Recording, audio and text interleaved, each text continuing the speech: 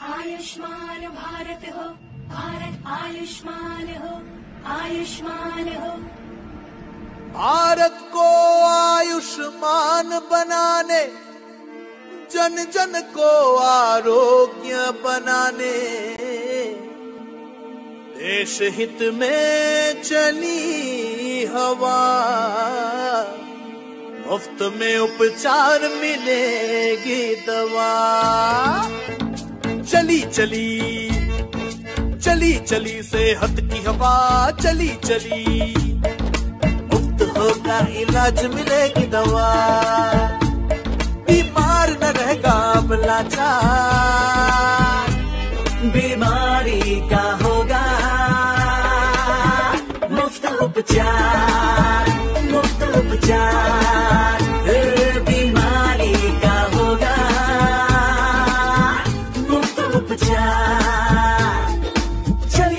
चली सेहत की हवा चली चली।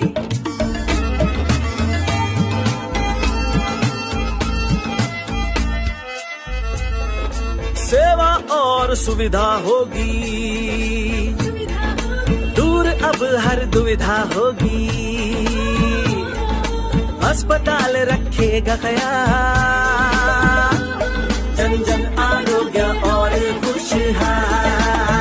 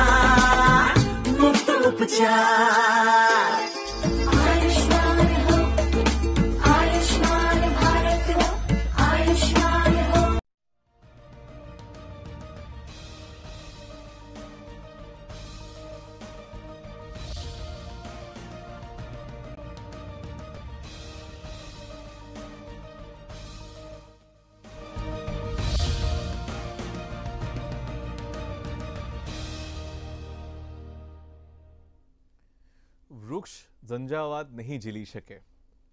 વૃક્ષ ઝંઝાવાત નહીં ઝીલી શકે. કે વૃક્ષ ઝંઝાવાત નહીં ઝીલી શકે, તરુણું ઉખડી જાય તો કહેજે મને. જિંદગી તારાથી હું થાક્યો નથી.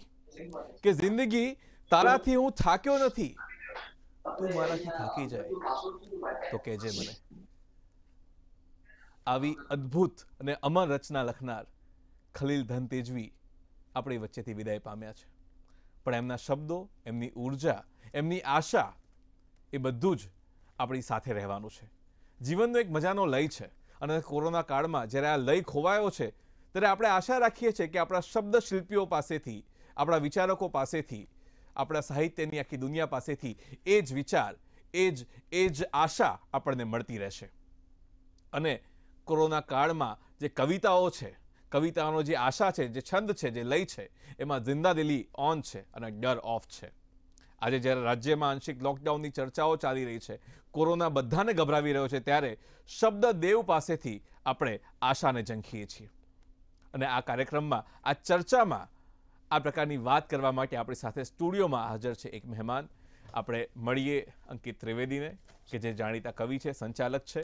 અંકિતભાઈ, આપનું ખૂબ ખૂબ સ્વાગત છે. અને આપણી સાથે સુરતથી જોડાયા છે જાણીતા મનોચિકિત્સક કવિ લેખક ડૉક્ટર મુકુલ ચોકસી. મુકુલભાઈ આપનું પણ દૂરદર્શનમાં ખૂબ ખૂબ સ્વાગત છે. અંકિતભાઈ આપનાથી શરૂઆત કરીએ. જિંદગી તારાથી હું થાક્યો નથી. તું જો થાકી જાય તો કહેજે મને. ક્યાં બાત હે? તો ખલીલ સાહેબની કવિતામાં જે ના થાકવાની વાત છે, જે લડવાની વાત છે, એ શું છે? તું જો થાકી જાય તો કહેજે મને. એ ગઝલનો એક શેર છે કે આખરે પુસ્તક છપાયું તો ખરું, પણ હવે વેચાય તો કહેજે મને. ખલીલ સાહેબ પાસે આવી એક જિંદાદિલી હતી. એ ગઈકાલ કે આવતીકાલના માણસ નહોતા. એ પ્રેમ અને પડકારના માણસ હતા. એ વર્તમાન સમયના માણસ હતા. ખલીલ સાહેબની જિંદાદિલીમાં એક સૌથી મોટી વાત જે ગઝલને જચે છે, ગઝલને બે વાત જચી છે હંમેશા, એક લાચારી અને બીજી ખુમારી. ખલીલ સાહેબ પાસે ખુમારી સોળે કળાએ પ્રગટી અને આ ખુમારી પણ કેવી રીતે આવી?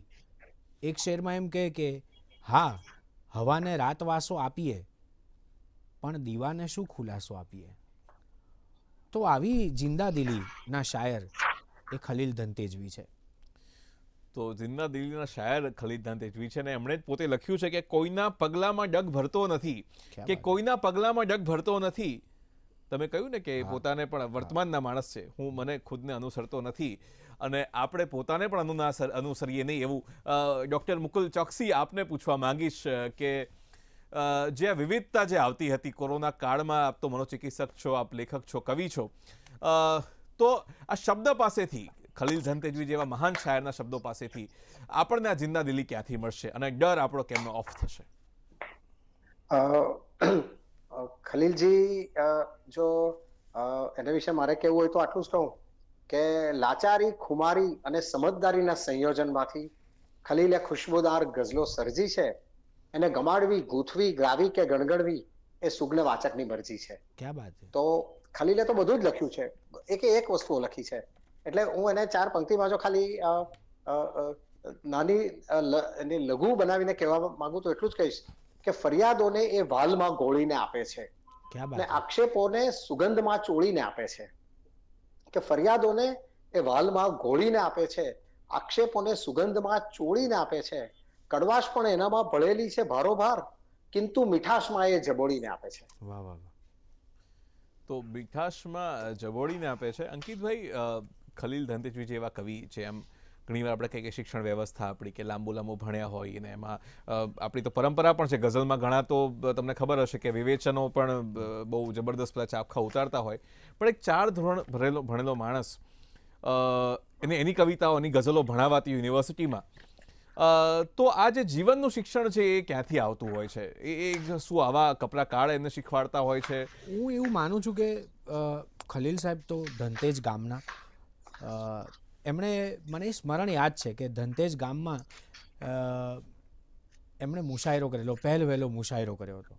અને મને એવું કહેલું કે આપણે મારા ગામમાં મુશાયરો કરવાનો છે, મારા ગામની સ્કૂલમાં કરવાનો છે, પહેલ વહેલો મુશાયરો છે. તને ફાવશે ને આવવાનું? મેં કીધું સાહેબ આવું પૂછો છો.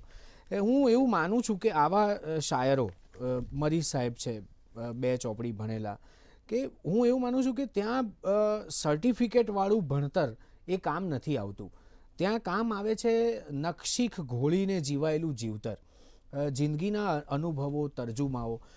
ખલીલ સાહેબમાં એટલા જ ખુમારી સાથે પ્રગટ્યા. અથવા તો ગુજરાતી કવિતાના કોઈ પણ શાયર, કોઈ પણ કવિ પાસે એ આવે છે વાત ત્યારે ભણતર કરતાં પણ એનું જે જીવન એમાં ઉમેરાય છે, એના જીવનનું સંવેદન ઉમેરાય છે. ત્યારે એ જુદા સંદર્ભો પ્રગટ કરે છે. અને ગુજરાતી કવિતા, ગુજરાતી ભાષા એનાથી વધારે રળિયાત બનતી હોય છે.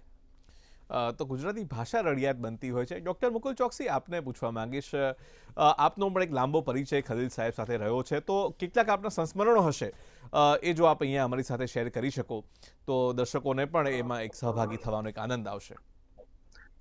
એક મને મને મારો નાનકડો પ્રસંગ યાદ આવે છે કે આજે એક એવો ટ્રેન્ડ છે કે લોકો વોટ્સએપ ઉપર અને ફેસબુક ઉપર અને બધે ઠેર ઠેર સોશિયલ મીડિયા ઉપર કોઈની બી બે ચાર પંક્તિઓને આમ તેમથી ભેગી કરીને કટ પેસ્ટ કરીને, પછી એ ગુલઝાર, ગુલઝારને નામે ને ગાલિબને નામે આવી રીતે મોકલે છે. તો એવી રીતે ખલીલને નામની પણ કેટલાક લોકોએ પોતાની પંક્તિઓ અને કેટલીક ખલીલની પંક્તિઓ મારી મચડીને આમ તેમ કટ પેસ્ટ કરીને મોકલી તો કોઈકે ખલીલને કહ્યું કે આ બધી તમારી કવિતાઓ આ લોકો આમ તેમ અને ફેરવી ફેરવીને એ કરે છે. તો ખલીલે વાંચી અને એમણે કહ્યું કે તમે કંઈક અમને કહો અથવા તો આ બધું બંધ કરાવો કે તમારી આટલી સારી કવિતાઓ ખલીલે એટલું જ કહ્યું કે ભાઈ એ એને નામે મૂકે એમાં મને કઈ વાંધો નથી.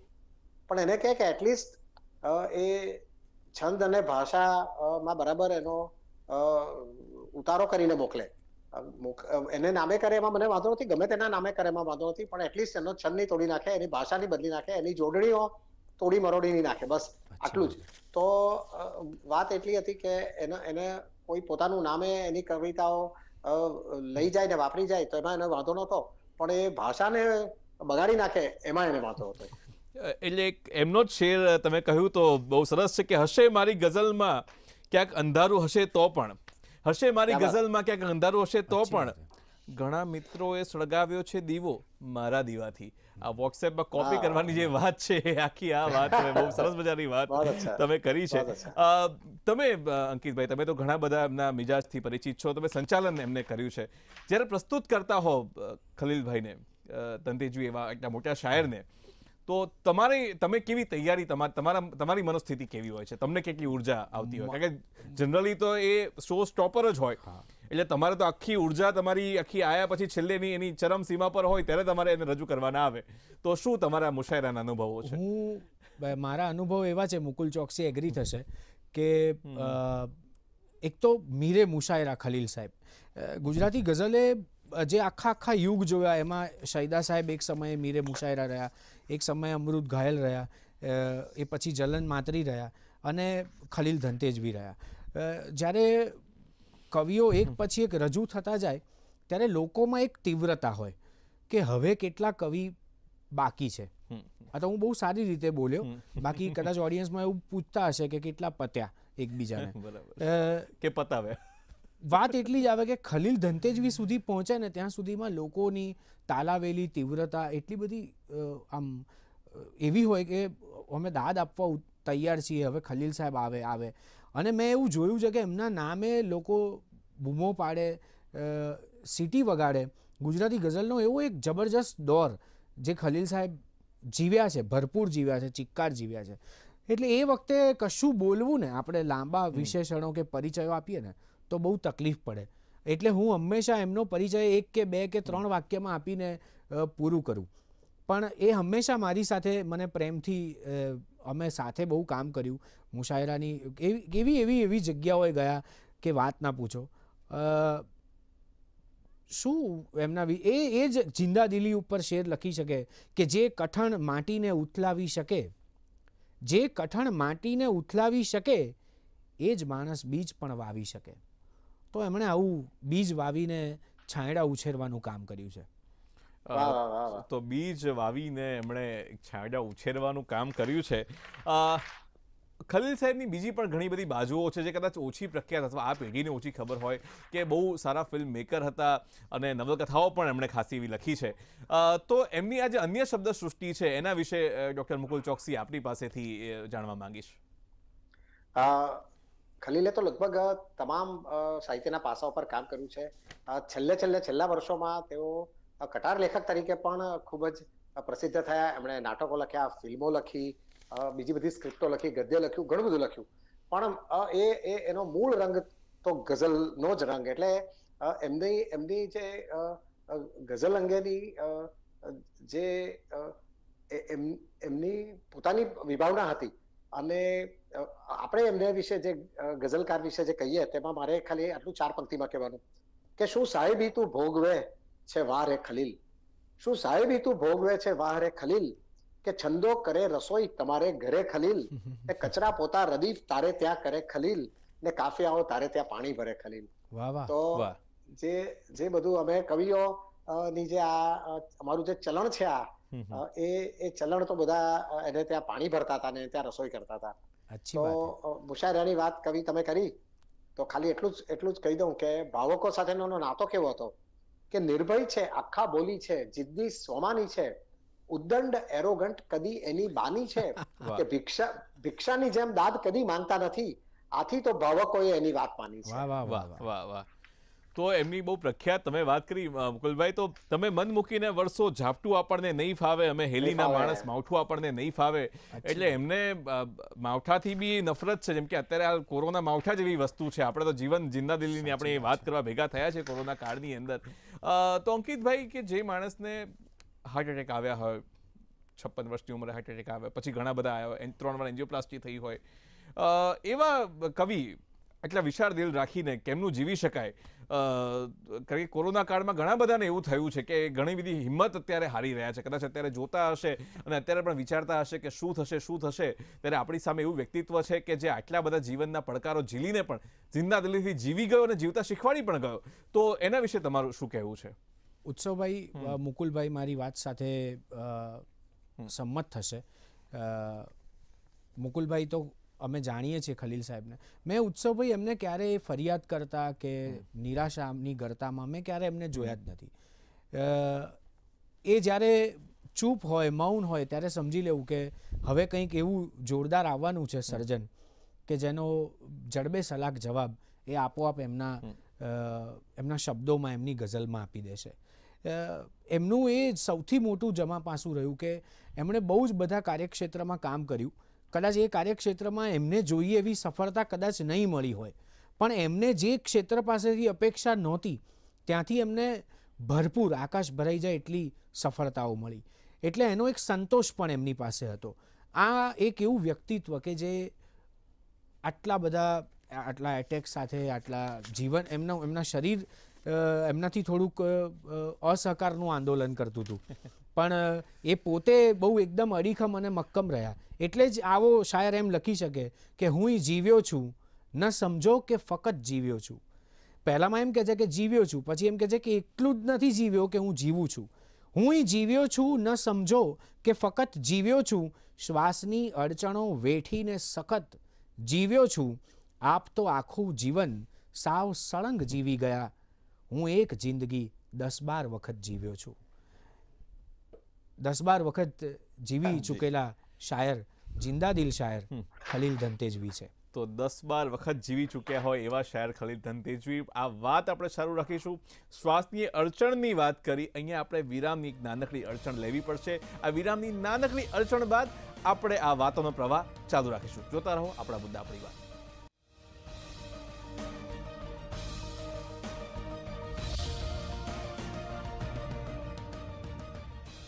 વિરામ બાદ ફરી એકવાર આપનું સ્વાગત છે. આપણે વાત કરી રહ્યા છીએ જાણીતા કવિ ખલીલ ધંધેજવી વિશે. આપણે ડૉક્ટર મુકુલ ચોકસી પાસે જઈએ. ડૉક્ટર મુકુલ ચોકસી, આપને કહેવા માગું છું કે આપ મનોચિકિત્સક છો. ઘણા બધા દર્દીઓ આપની પાસે આવતા હશે, પોતાના દુઃખ લઈને દર્દ લઈને. કોરોના કાળમાં તો હતાશા ખાસી વ્યાપી છે લોકોના મનમાં. તમને જો પ્રિસ્ક્રિપ્શનમાં કવિતા લખવાનું કહેવામાં આવે, તો કઈ ગઝલના શેર અથવા કઈ કઈ રચના ખલીલ સાહેબની આપ, આપના પેશન્ટને આપો? અમારે ત્યાં આર્થિક તકલીફોથી ત્રસ્ત લોકો ઘણા આવતા હોય છે. તો ખલીલે આ તમામ જે લોકો અર્થવ્યવસ્થાથી પીડિત છે અને જે લોકો પૈસે ટકે તકલીફમાં છે, એવા લોકો ની વાત અને સમાજના બિછડેલા વર્ગના લોકોની વાત ખલીલે કરી છે અને જગજીતસિંહે ગાઈ છે कि अब मैं राशन की कतारों में नजर आता हूँ अपने खेतों से बिछड़ने की सजा पाता हूँ અને ત્યાર પછી જે આ વાત મૂળ છે કે इतनी महंगाई के बाजार से कुछ लाता हूँ इतनी महंगाई से बाजार से कुछ लाता हूँ अपने बच्चों में उसे बांट के शर्माता हूँ और अपनी नींदों का लहू पोंछने की कोशिश में जागते जागते थक जाता हूँ सो जाता हूँ और कोई चादर समझ के खींच न ले फिर से खलील मैं कफन ओढ़ के फुटपाथ पे सो जाता हूँ તો અ, ખલીલ અ, સ- અ, તમામ પ્રકારની પીડાઓને પોતાની આગવી રીતે વર્ણવે છે અને અ, છેલ્લે એ આટલું કહે છે કે ઘર સુધી તું આવવાની જીદ ન કર હા ઘર નથી ઘર નથી નહીતર હું ના પાડું તને વાહ વાહ વાહ બહુ બહુ અદ્ભુત વાત છે. મને યાદ છે કે ધોરણ અગિયારમાં જ્યારે હું હતો ત્યારે આ કવિતા મેં લગભગ મારી ડાયરીમાં મેં નોંધી રાખી હતી. મને યાદ છે તમે વાત કરી છે યાદ જી, આપણી સાથે એક કોલર જોડાયા છે દીપકભાઈ જુનાગઢથી. દીપકભાઈ આપની વાત રજૂ કરો.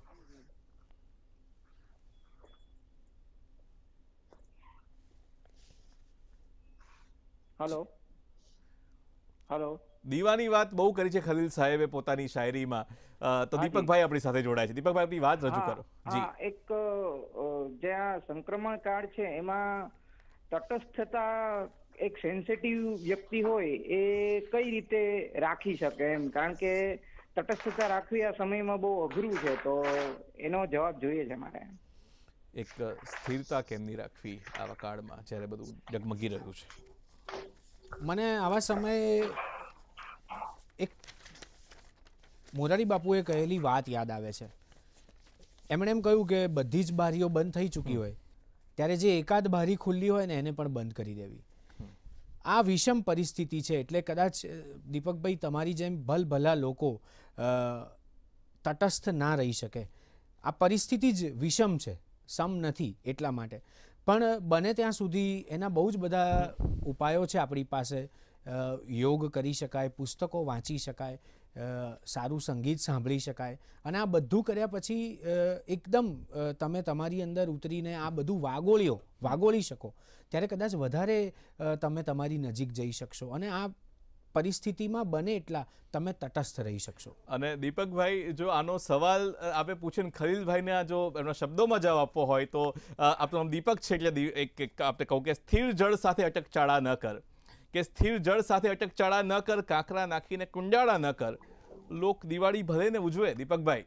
લોક દિવાળી ભલે ને ઉજવે પેટ બાળીને તું અજવાળા ના અજવાળા ના કર. તો આ જે વાત છે એ મને લાગે છે કે આપણે જે સ્થિરતા સાથે જીવવાની જે વાત મુકુલ- છે મુકુલ ચોકસી આની સામે ખલીલ સાહેબનો જ એક શેર કહેવો છે કે અમે અમારી રીત પ્રમાણે રાતોને અજવાળી છે.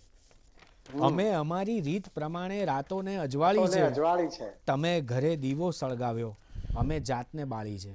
વાહ. ક્યાં વાત તો જાતને બાળી છે. મુકુલ ચોકસી સાહેબ આપને કહેવા માંગીશ પૂછવા માંગીશ કે પરંપરા અને પ્રયોગને સાથે લઈને ચાલનારા આપણે ખલીલ ધન તેજવી તો એમની એક છે એમ- એમને એમની એમના શેરથી વાત કરું કે હા વિવેચક છો તમે જાણું છું હું પણ જરા આગા ખસો રસ્તો કરો. આપ છો ભાષા ભવનના માસ્તર આપ છો ભાષા ભવનના માસ્તર. લો જરા ટહુકાનો ટહુકાનો તરજુમો કરો. તો આ કઈ રીતના આ જે વાત કહી રહ્યા છે વિવેચકોને પણ અતિક્રમીને જ્યારે આમના શબ્દ ભાવક સુધી પહોંચે છે અને ઘણીવાર લોકપ્રિય થવું અને અને અને સાહિત્યના જે માપદંડો છે એમાં પણ ખરા ઉતરવું આ બંને સાથે લઈને ચાલવું બહુ અઘરી વસ્તુ છે. તો આ જે કહુંકાની. દુનિયાનો જે માણસ છે એ કઈ રીતે પરંપરા અને પ્રયોગને સાથે લઈને ચાલ્યો? એના વિશે થોડીક વાત. ઉત્સવભાઈ હું તો હું તો માત્ર આ વાત આપે જે વાત કરી એ જ વાત હું ચાર પંક્તિમાં મૂકીને આપું કે વાણીમાં ખોટો ગર્વ ગમંડ કે ગરુર નથી. વાણીમાં ખોટો ગર્વ ગમંડ કે ગુરુર નથી ને વર્તનમાં ચાપલૂસી નથી જી હજુર નથી પોખ્યો છે એના ચાહકોએ એને એટલો કે જ્ઞાનપીઠ કે પદ્મશ્રીની પણ જરૂર નથી. વાહ વાહ. તો બસ એને તો એ- એને તો એ- એને શ્રોતાઓની દાદ મળી ગઈ વાહ મળી ગયું અને દુબારા મળી ગયું. એને એને કોઈ વિવેચનાની જરૂર નથી કે એને કોઈ એવોર્ડની જરૂર નથી. વાહ. તો બહુ સરસ વાત કરી કે લઈ વગર શબ્દો વગર મતલા વગર હું ગઝલ લખતો રહ્યો સમજ્યા વગર તે તો તારો છાંયડો આપ્યો મને હું જ ના જંપી શક્યો તડકા વગર. તો શું કોરોના કાળમાં અંકિતભાઈ આપણી સ્થિતિ પણ ક્યાંક આવી જ થઈ રહી છે? આપણી સ્થિતિ કોરોના કાળમાં આવી જ છે પણ આપણે કોરોના કાળમાં તકેદારી રાખવાની છે. જેમ મુકુલભાઈએ કહ્યું એમ કે ખલીલ સાહેબને કોઈ એવોર્ડની પડી નથી. એમને માટે ભાવકો એ એમને બહુ પૂરતા એવોર્ડ આપ્યા. એમ આ કાળ એવો છે કે આપણે કોરોના કાળમાં છીએ અને છતાંય આપણને કોરોના ન થાય. આપણે પેન્ડેમિક ન થઈએ. આપણે આપણી જાતને બચાવીને સુરક્ષિત રાખી શકીએ એવા બધા જ એવી બધી જ તકેદારીઓ આપણે રાખવી જોઈએ. અને કદાચ જાત સલામત તો જગત જગત સલામત. તો મને એવું લાગે છે કે આ જ ખરો આપણો મુદ્દો છે અને આ જ ખરી આપણી વાત છે. વાહ વાહ. બહુ અદ્ભુત વાત તમે કરી એકદમ કાવ્યમય શૈલીમાં. દીપકભાઈને બહુ પ્રેમ લાગે છે આ શોથી. દીપકભાઈ બોરસદથી બીજા જોડાયા છે. દીપકભાઈ આપનો પ્રશ્ન પૂછો.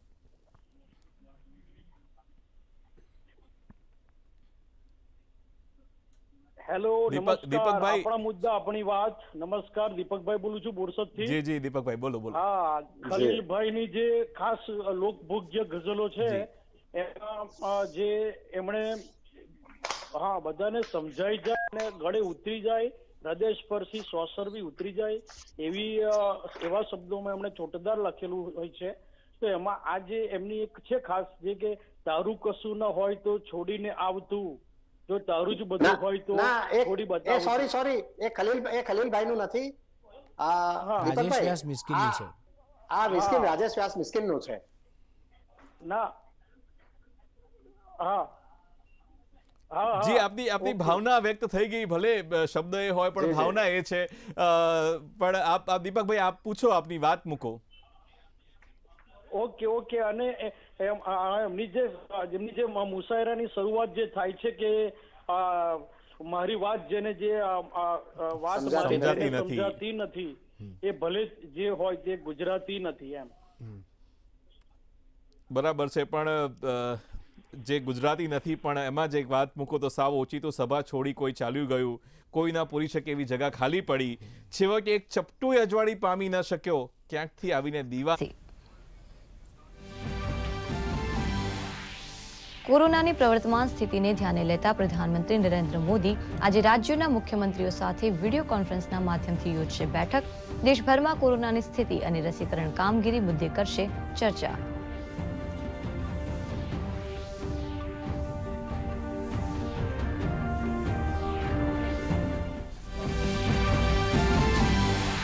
દેશભરમાં રસીકરણ અભિયાન યુદ્ધના ધોરણે ચાલુ. પ્રધાનમંત્રી નરેન્દ્ર મોદીએ લીધો કોરોના રસીનો બીજો ડોઝ. તો અગિયાર એપ્રિલથી કાર્યક સ્થળ પર પણ કોરોના રસી આપવાનો કેન્દ્ર સરકારે લીધો નિર્ણય. પિસ્તાળીસ વર્ષથી વધુની ઉંમર ધરાવતા લોકોને મળશે કોરોનાની રસી. દેશભરમાં વધી રહેલા સંક્રમણને જોતા કેન્દ્ર સરકારે તમામ રાજ્યો માટે જાહેર કર્યા નવા દિશા નિર્દેશ.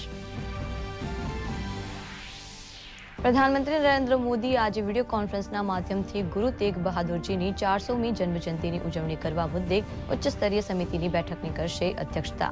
વિશેષ અવસરની ઉજવણી માટે વાર્ષિક કેલેન્ડર બનાવવા મુદ્દે બેઠકમાં કરાશે ચર્ચા.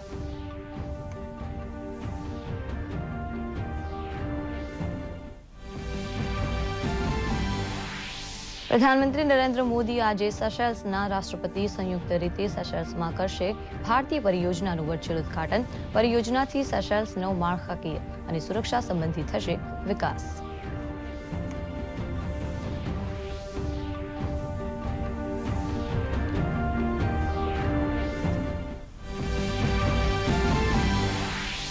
પ્રધાનમંત્રી નરેન્દ્ર મોદી પરીક્ષા પે ચર્ચાના ચોથા ભાગ અંતર્ગત વિદ્યાર્થીઓ, શિક્ષકો સાથે કર્યો સંવાદ. કોવિડ પ્રતિબંધોને જોતા આ વખતે વર્ચ્યુઅલ માધ્યમથી કરાયું કાર્યક્રમનું આયોજન. પરીક્ષા પહેલા વિદ્યાર્થીઓને ચિંતા મુક્ત અને તણાવ ઓછો કરવાના પ્રયાસ સ્વરૂપે અને આત્મવિશ્વાસ વધારવા પ્રધાનમંત્રી નરેન્દ્ર મોદીએ કર્યો. વિદ્યાર્થીઓ સાથે સંવાદ. દેશમાં કોરોના સંક્રમણના આંકમાં ભારેખમ ઉછાળો. છેલ્લા ચોવીસ કલાકમાં નોંધાયા રેકોર્ડ બ્રેક એક લાખ પંદર હજાર સાતસો છત્રીસ નવા કેસ. તો વધુ છસો ત્રીસના મૃત્યુ. મહારાષ્ટ્રમાં સૌથી વધુ ઓગણસાઠ હજાર નવસો સાત નવા કેસ નોંધાયા. કેટલાક રાજ્યોમાં લગાવાયો નાઇટ કરફ્યુ.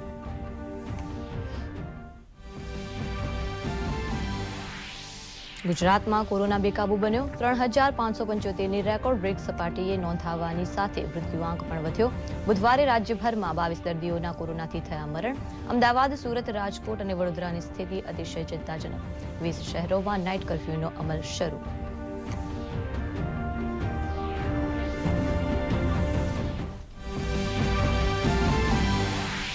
કોરોનાની કામગીરીથી રાજ્યની પ્રજા સંતુષ્ટ હોવાનું જણાવતા રાજ્યના નાયબ મુખ્યમંત્રી નીતિન પટેલ, કોંગ્રેસના નેતા શ્રી અર્જુન મોઢવાડિયાના આક્ષેપોને ફગાવતા નાયબ મુખ્યમંત્રીએ કહ્યું, સંક્રમણની ચેન અટકાવવા માટે અમે તમામ પ્રયાસો કર્યા. રાજ્યમાં હાલની પરિસ્થિતિએ ચાળીસ હજાર જેટલા આરટીપીસીઆર ટેસ્ટ અને સાહીઠ હજાર જેટલા એન્ટીજન ટેસ્ટ કરવામાં આવતા હોવાની માહિતી આપતા નીતિન પટેલ.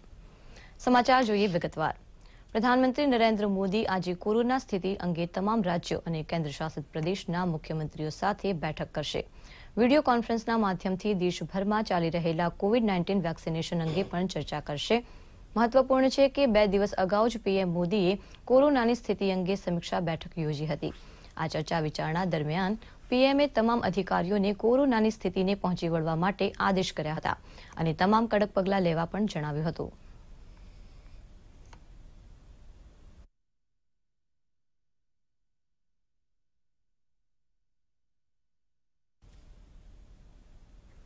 દેશભરમાં રસીકરણ અભિયાન તેજ બનાવવા માટે નવી પહેલ હાથ ધરાઈ છે. અગિયાર એપ્રિલથી સરકારી અને ખાનગી કાર્યસ્થળ પર પણ કોરોના વેક્સિન લઈ શકાશે. કેન્દ્ર સરકારે આ અંગે નિર્ણય લેતા જણાવ્યું હતું કે પિસ્તાળીસ વર્ષથી વધુની ઉંમર ધરાવતા લોકો કોરોના રસી લઈ શકશે. જેમના માટે કાર્યસ્થળ પર જ તમામ વ્યવસ્થાઓ ઉપસ્થિત રહેશે. ઉલ્લેખનીય છે કે દેશભરમાં વધી રહેલા સંક્રમણને જોતા કેન્દ્ર સરકારે તમામ રાજ્યોને દિશા નિર્દેશ જાહેર કર્યા છે. કોરોના કેસ પર નજર કરીએ તો મહારાષ્ટ્રમાં છેલ્લા ચોવીસ કલાકમાં સાહીઠ હજાર જેટલા કેસ નોંધાયા છે. જ્યારે ત્રેવીસ દર્દીઓ મોતને ભેટ્યા છે, વધતા જતા કેસને જોતા અમુક રાજ્યોમાં નાઇટ કરફ્યુ લાદી દેવામાં આવ્યો છે.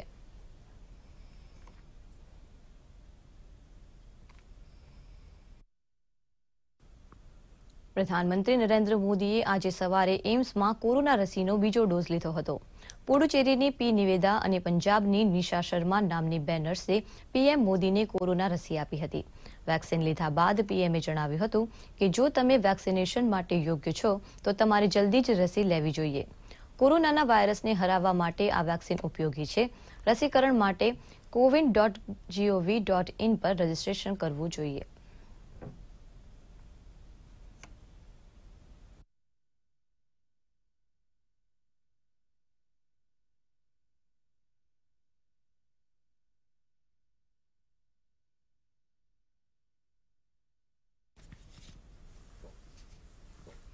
શ્રી ગુરુ તેગ બહાદુરજીની ચારસોમી જયંતિ અંગે પ્રધાનમંત્રી નરેન્દ્ર મોદી આજે ઉચ્ચ સ્તરીય બેઠક કરશે. વીડિયો કોન્ફરન્સના માધ્યમથી પીએમ મોદી બેઠકની અધ્યક્ષતા કરશે. આ બેઠકમાં ગૃહમંત્રી અમિત શાહ પણ ઉપસ્થિત રહેશે. બેઠક દરમિયાન આ પ્રકાશ પર્વની ઉજવણી કરવા માટે વર્ષભરના કેલેન્ડર અંગે પણ ચર્ચા કરાશે. મહત્વપૂર્ણ છે કે કેન્દ્ર સરકારે ઓક્ટોબર બે હજાર વીસમાં ઉચ્ચ સ્તરીય કમિટીની રચના કરી હતી. આ કમિટી પ્રકાશ પર્વની ઉજવણી અને તેની સાથે જોડાયેલી યોજનાઓ અને નીતિ માટે મંજૂરી આપી શકે છે.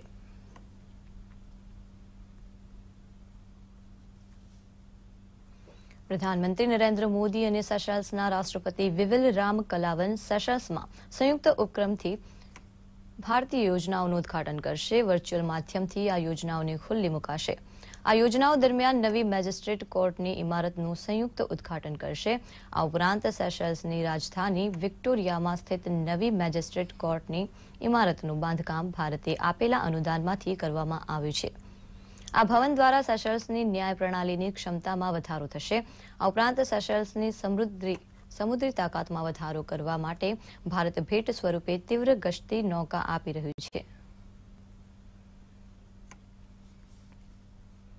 પ્રધાનમંત્રી નરેન્દ્ર મોદીએ પરીક્ષા પે ચર્ચા વાર્ષિક કાર્યક્રમમાં વિદ્યાર્થીઓ, શિક્ષકો અને અભિભાવકો સાથે સંવાદ કર્યો હતો.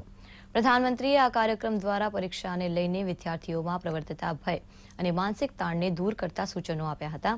આ સાથે વિદ્યાર્થીઓ અને બાળકો સાથે શિક્ષકો તેમજ વાલીઓને કેવું વર્તન કરવું જોઈએ તે અંગે માર્ગદર્શન પૂરું પાડ્યું હતું. પરીક્ષા કી તૈયારી અચ્છી ચાલ રહી હોગી ये परीक्षा पे चर्चा का पहला वर्चुअल एडिशन है। अब जानते हैं हम, पिछले एक साल से कोरोना के बीच जी रहे हैं और उसके कारण हर किसी को नया नया इनोवेशन करना पड़ रहा है। मुझे भी आप लोगों से मिलने का मोह इस बार छोड़ना पड़ रहा है और मुझे भी एक नए फॉर्मेट में आपके बीच आना पड़ रहा है। और आपसे रूबरू न मिलना, आपके चेहरे की खुशी न देखना, आपका उमंग और उत्साह न अनुभव करना, ये अपने आप में मेरे लिए बहुत बड़ा लॉस है। लेकिन फिर भी परीक्षा तो है ही है। आप है, मैं हूँ, परीक्षा है तो फिर अच्छा ही है कि हम परीक्षा पे चर्चा कंटिन्यू करेंगे। પ્રધાનમંત્રીએ વાલીઓને સંદેશો આપતા કહ્યું કે બાળકોમાં જરૂરી મૂલ્યો સિંચવા માટે માતા પિતાઓએ પોતાના વ્યવહારમાં પણ તે મૂલ્યોનો અમલ કરીને બાળકોને પ્રેરણા પૂરી પાડવી જોઈએ. પ્રધાનમંત્રીએ દીકરા દીકરી વચ્ચે થતા ભેદભાવનું ઉદાહરણ ટાંકતા કહ્યું કે દીકરા દીકરી માટે સમાંતર ભાવ વિશ્વ બનાવવું જોઈએ. કુવૈતથી તનયે પ્રધાનમંત્રીને ઘડતર માટે વિશેષ માર્ગદર્શન માંગ્યું હતું. જેના જવાબમાં પ્રધાનમંત્રીએ તેના વાકશૈલીની પ્રશંસા કરી હતી. તેને નિખારવા સૂચન કર્યું હતું. પ્રધાનમંત્રીએ વિદ્યાર્થીઓને નિરીક્ષણ શક્તિને વિકસાવવા પર ભાર મૂક્યો હતો सिलेबस के बाहर जाकर के भी कभी उनसे बातें करें उनसे चर्चा करें उनको गाइड करें विद्यार्थियों को टोकने के बजाय उन्हें गाइड करें टोकना रोकना उसका प्रभाव मन पे और ज्यादा नेगेटिव फैलता है प्रोत्साहित करने से वो कॉन्सेंट्रेटेड ताकत के रूप में कन्वर्ट हो जाता है। कुछ बातें क्लास में सार्वजनिक तौर पर ज़रूर कहें ताकि सबका प्रबोधन होगा। लेकिन बहुत सी बातें ऐसी होती हैं, जब किसी एक बच्चे को बुला करके चलते चलते थोड़ा सर पे हाथ रख करके बहुत ही प्यार से कहे बेटे देखो भैया, तुम इतने बढ़िया करते हो। जरा देखो इसको जरा थोड़ा ये कर लीजिए देखिए तुम्हारे में बहुत बड़ी ताकत है आप देखिए ये बहुत काम आएगा बहुत काम आएगा પ્રધાનમંત્રીએ વિદ્યાર્થીઓને તેમના દ્વારા લિખિત એક્ઝામ વોરિયર્સ પુસ્તકને વાંચવા અપીલ કરી હતી અમદાવાદની ધારવી બારોટને શીખ આપતા કહ્યું કે કોરોના કાળમાં વિદ્યાર્થીઓને લોકોની ઉપેક્ષા ન કરતા તેમનું મહત્વ જાણતા શીખવું જરૂરી છે આ સાથે પ્રધાનમંત્રીએ વિદ્યાર્થીઓને આત્મચિંતન કરવા પણ સલાહ આપી હતી इंटरनेशनल स्कूल संस्कार धाम के कक्षा ग्यारहवीं कॉमर्स की छात्रा हूँ श्रीमान इस कोरोना काल में उद्योग व्यापार सं, सरकार को भी तकलीफ आई होगी लेकिन क्या आपने सोचा है कि विद्यार्थियों को क्या तकलीफ आई सर इस संकट को मैं अपने जीवन में किस रूप में याद रखूं? ऐसा लगता है कि हम छात्रों का एक साल निरर्थक हो गया हूँ। मेरी जगह आप होते तो क्या करते? आपका मार्गदर्शन हमें दिशा देगा। धन्यवाद। देखिए, आपकी बात बिल्कुल सही है। जहाँ तक कोरोना का प्रश्न है, मैं तो इसे इस रूप में देखता हूँ कि जो गलती आपने नहीं की, उसका खामियाजा आपको उठाना पड़ा। ये आपके लिए जीवन की एक सीख है कि कई बार जीवन में बहुत कुछ अचानक घटता है, अकल्पनीय घटता है और इन घटनाओं पर आपका कोई नियंत्रण नहीं होता है। कोरोना में भी हम कह सकते हैं कि बच्चों का, युवाओं का जो नुकसान हुआ है, वो बहुत बड़ा है। बचपन के लिए तो एक साल का नुकसान बड़ी इमारत की नींव में एक खालीपन जैसा है। इस कमी को भरना आसान नहीं है। आपको भी लगता ही होगा, कोरोना काल के पहले का समय आप याद करते होंगे तो सोचते होंगे कि कितना कुछ मिस किया है। लेकिन कोरोना काल में अगर काफी कुछ खोया है तो बहुत कुछ पाया भी है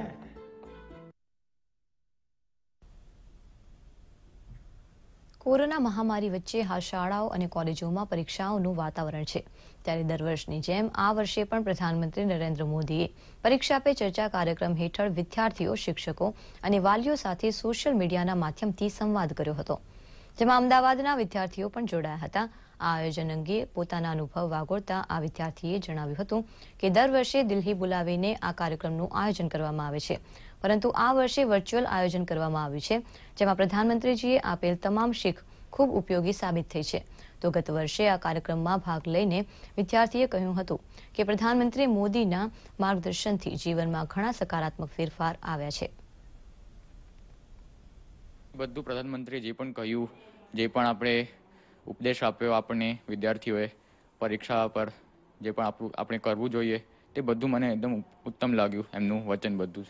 એમને એવું કીધું હતું કે ભણતર ને પરીક્ષા એ બધી વસ્તુ આપણા ખાલી એક પ્રકારના મિત્રો જેવી જ છે, એટલે એમનાથી જરા પણ ભય રાખવું નહીં સારું. એટલે આપણે ખાલી જેવી રીતે આપણા મિત્ર જોડે આપણે વર્તીએ છીએ, એવી જ રીતે આપણે વર્તવું જોઈએ ભણતરથી અને પરીક્ષાથી. એટલે મેં પણ એમની વાતનું અનુસરણ કર્યું છે અને તેનાથી મને બહુ લાભ થયો છે મને પોતાને પણ લાગે છે એવું प्रधानमंत्री जी ने बहुत हमको मार्गदर्शन दिया और उन्होंने काफ़ी मोटिवेट किया कई नई चीज़ों से हम उनकी कई बातों से बहुत लाभान्वित महसूस करता हूँ मैं और प्रधानमंत्री जी के एक अच्छे उन उनके एक ये सीखने की बात यह थी कि उन्होंने हमको नई मुश्किलों का या परेशानियों का सामना करने के लिए उत्साहित किया उन्होंने हमें સમાચારમાં હવે લઈએ એક નાનકડો વિરામ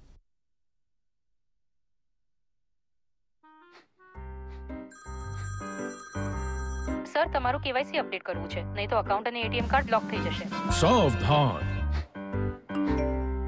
સાવધાન અઢી કરોડનું ઇનામ મને જો અજાણ્યા કોલ્સ નકલી ઈમેલ્સ લિંક્સ અને બનાવટી એપ્સથી તમારો પિન ઓટીપી પાસવર્ડ ક્યારે કોઈની સાથે શેર ન કરો. જો તમે રહેશો સાવધાન તો નહીં થાય નુકસાન. આરબીઆઈ કહે છે જાણકાર બનો સતર્ક રહો. વિરામ બાદ સમાચારમાં ફરી સ્વાગત છે. દેશમાં કોરોના વિરુદ્ધ જંગ યથાવત છે, જેમાં ચોવીસ કલાકમાં રેકોર્ડ તોડ એક લાખ પંદર હજાર કેસ નોંધાયા છે. જ્યારે છસો ત્રીસ જેટલા દર્દીઓએ જીવ ગુમાવ્યો છે, તો ઓગણસાઠ હજાર સાતસો ચૌદ લોકો સ્વસ્થ થયા છે. છેલ્લા ચોવીસ કલાકમાં મહારાષ્ટ્રમાં પંચાવન હજાર ચારસો ઓગણસિત્તેર કેસ નોંધાયા છે, જેમાં બસો સત્તાણું દર્દીઓ મોતને ભેટ્યા છે. આ ઉપરાંત સૌથી વધુ છત્તીસગઢમાં નવ હજાર નવસો એકવીસ કેસ, તો કર્ણાટકમાં છ હજાર એકસો પચાસ કેસ દિલ્હીમાં પાંચ હજાર સો કેસ છેલ્લા ચોવીસ કલાકમાં નોંધાયા છે. સંક્રમણ ઝડપથી ફેલાઈ રહ્યું હોવાથી વધુ તકેદારી રાખવા માટે લોકોને કેન્દ્રએ આદેશ કર્યો છે. સરકારી ગાઈડલાઇન્સનું ચુસ્તપણે પાલન કરવા પણ જણાવ્યું છે. કામ વિના ઘરની બહાર જવાનું ટાળવું, માસ્કનો ઉપયોગ કરવો, હાથ સાફ રાખવા અને સોશિયલ ડિસ્ટન્સનું પણ ધ્યાન રાખવા જનતાને અપીલ કરાઈ છે. સૂચના પ્રસારણ મંત્રાલયે કોવિડના વધતા જતા મામલાને કાબૂમાં કરવા માટે લોકોમાં જાગૃતિ આવે તે હેતુસર ઇલેક્ટ્રોનિક મીડિયાને આહવાન કર્યું છે. મંત્રાલયે અપીલ કરી છે કે ખાનગી ન્યૂઝ ચેનલ દવાઈ ભી કડાઈ ભીના સૂત્ર પર ખાસ જોર આપે. મહત્વપૂર્ણ છે કે કોરોનાની વધી રહેલી મહામારીને પહોંચી વળવા માટે કેન્દ્ર સરકારે પચાસ વિશેષજ્ઞોની ટીમ તૈયાર કરી છે, જે વધુ સંક્રમણ ધરાવતા રાજ્યમાં જશે અને રાજ્ય સરકાર સાથે મળીને કામ કરશે. આ ઉચ્ચ સ્તરીય ટીમ રસીકરણ અભિયાન અને સર્વેલન્સ અંગે રોજ કેન્દ્ર સરકારને રિપોર્ટ કરશે. રાજ્યમાં કોરોનાનો કેર યથાવત છે. ગઈકાલે રાજ્યમાં કોરોનાના કુલ ત્રણ હજાર પાંચસો પંચોતેર કેસ નોંધાયા છે. તેમજ બે હજાર બસો ઓગણીસ દર્દીઓને સારવાર બાદ રજા આપવામાં આવી છે. તો રિકવરી દર ઘટીને બાણું પોઈન્ટ નેવું ટકા થયો છે. જ્યારે બાવીસ લોકોના કોરોનાથી મૃત્યુ નિપજ્યા છે. આ સાથે અત્યાર સુધીમાં ચાર હજાર છસો વીસ દર્દીઓના મરણ થયા છે. જેમાં અમદાવાદમાં છ, સુરતમાં દસ, ગાંધીનગર, ભાવનગર તેમજ અન્ય જિલ્લાઓમાં એક એક કરી બાવીસ લોકોએ દમ તોડ્યો છે. રાજ્યમાં વિવિધ જિલ્લામાં નોંધાયેલા કેસ અંગે વાત કરીએ તો અમદાવાદમાં આઠસો ત્રેવીસ કેસ નોંધાયા છે. જેમાં અમદાવાદ શહેર વિસ્તારમાં આઠસો ચાર કેસ છે, સુરત આઠસો ઓગણીસ કેસ, વડોદરા ચારસો સત્તાવન, રાજકોટમાં ચારસો નેવું કેસ નોંધાયા છે. જામનગરમાં એકસો પંચોતેર, પાટણમાં એકસો અગિયાર કેસ, મહેસાણામાં છાસઠ, ભાવનગરમાં નેવું, ગાંધીનગરમાં ઓગણ્યાએંશી મહીસાગર સડત્રીસ, મોરબીમાં એકત્રીસ, ખેડામાં બત્રીસ અને જૂનાગઢમાં છેતાળીસ કેસ નોંધાયા છે. તાપી જિલ્લામાં હાલ કોરોનાના કેસોમાં વધારો થઈ રહ્યો છે, ત્યારે અમુક ગામો સ્વયંભૂ લોકડાઉન તરફ વળ્યા છે. રાજ્ય પોલીસ વડા આશિષ ભાટિયાએ ગૃહ વિભાગમાં અધિકારીઓ સાથે બેઠક કર્યા બાદ મહત્વનો નિર્ણય લીધો છે કે આજથી તમામ પોલીસ કર્મચારીઓની રજા રદ કરવામાં આવશે અને અનિવાર્ય સંજોગો હશે તો ઉપરી અધિકારીની વિશેષ પરમિશન બાદ જ રજા મળશે. નાયબ મુખ્યમંત્રી અને આરોગ્ય મંત્રી નીતિન પટેલે જણાવ્યું છે કે કોરોનાના સંક્રમણથી નાગરિકોને બચાવવા એ અમારી નૈતિક ફરજ છે, જે અમે સુપેરે નિભાવી છે. જેનાથી નાગરિકો સંતુષ્ટ છે, એટલા માટે જ તાજેતરની સ્થાનિક સ્વરાજ્યની ચૂંટણીઓમાં અમને સત્તા સોંપી છે. આના પરિણામે બેબાકડી બનેલી કોંગ્રેસ અને તેના નેતાઓ નાગરિકોના આરોગ્ય સાથે ચેડા કરવાની વૃત્તિને આગળ ધરીને રાજનીતિ કરવા નીકળેલી કોંગ્રેસને આ શોભતું નથી. કોંગ્રેસના નેતા અર્જુન મોઢવાડિયાએ કોરોનાની રાજ્ય સરકારની કામગીરી સંદર્ભે કરેલા આરોપોને ફગાવતા નાયબ મુખ્યમંત્રી નીતિન પટેલે ઉમેર્યું કે આજે જ્યારે નાગરિકોને સુરક્ષા પૂરી પાડવાની જરૂરિયાત છે, ત્યારે કોંગ્રેસ વાહિયાત નિવેદન કરીને પ્રજાને ગેરમાર્ગે દોરે છે, જે અત્યંત દયનીય છે. સંક્રમણને રોકવા માટે અમારી સરકાર છેલ્લા એક વર્ષથી સંનિષ્ઠ પ્રયાસો કરી રહી છે. મુખ્યમંત્રી વિજય રૂપાણીના અધ્યક્ષપદે રચાયેલી કોર કમિટીની બેઠકો એક પણ રજા રાખ્યા વિના સેવા છેલ્લા એક વર્ષથી અવિરતપણે મળી રહી છે. આ બેઠકોમાં અનેક જનહિતકારી નિર્ણયો કરાયા છે, જેના પરિણામે કોરોનાના સંક્રમણને અટકાવી શક્યા છે ઊભા કરે છે.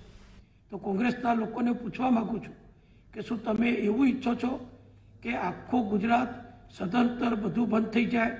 આખા ગુજરાતમાં કરફ્યુ નાખી દેવામાં આવે, ગરીબ માણસો રોજે રોજનું કમાનાર વ્યક્તિઓ, વ્યવસાયિક લોકો, રોજમદારો, રિક્ષા ચલાવનારા કે બીજી રીતે પોતાનું કુટુંબનું જે ભરણ પોષણ કરવા માટે રોજે રોજ કામગીરી કરી અને કારીગર વર્ગ જે આવક મેળવે છે, એ આવક બંધ થઈ જાય એવા પ્રકારના નિયંત્રણો મૂકીને ગુજરાતને તમે બંધ કરવા માગો છો.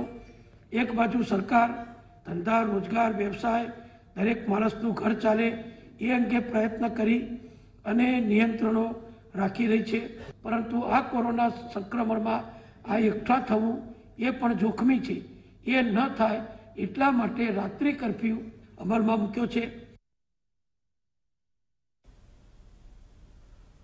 રાજ્યમાં વધી રહેલા સંક્રમણને જોતા જૂનાગઢમાં મંદિરમાં ભક્તોના પ્રવેશ અંગે સરકારી આદેશનું પાલન કરાઈ રહ્યું છે.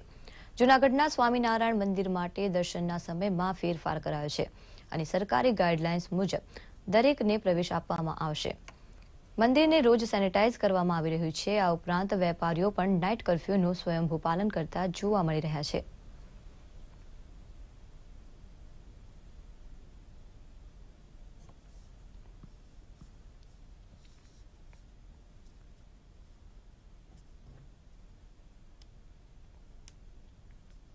સરકારશ્રીની ગાઈડલાઈન મુજબ સાંજે આઠ વાગ્યાની અમે અમારા ધંધા રોજગાર સ્વયંભૂ બંધ રાખી અને સરકારશ્રીને સહયોગ આપીએ છીએ. રાત્રિ કર્ફ્યુ જે કંઈ સરકારશ્રીએ આદેશ આપ્યો છે, એ પ્રમાણે અમે બધા ચાલીએ છીએ અને અમે બધા વેપારી સ્વયંભૂત રીતે રાત્રિના પોણા આઠ વાગ્યે સ્વયંભૂત બંધ કરી અને આ કર્ફ્યુમાં આ લોકોએ જે કંઈ બી નિર્ણય લીધો છે, એ અમે બહુ આભારી છીએ. જામનગરમાં એક જ દિવસમાં કોરોનાના બસો જેટલા પોઝિટિવ કેસ નોંધાયા હતા. આ સંક્રમણને પહોંચી વળવા માટે નાઇટ કર્ફ્યુ લાદી દેવાયો છે, જેનો વેપારીઓ અને શહેરીજનો ચુસ્તપણે પાલન કરી રહ્યા છે. પોલીસ પણ પેટ્રોલિંગ કરી અસામાજિક તત્વો પર નજર રાખી રહી છે. વધતા જતા કોરોના કેસને પહોંચી વળવા માટે તમામ સાવધાનીઓ શહેરીજનો રાખી રહ્યા છે.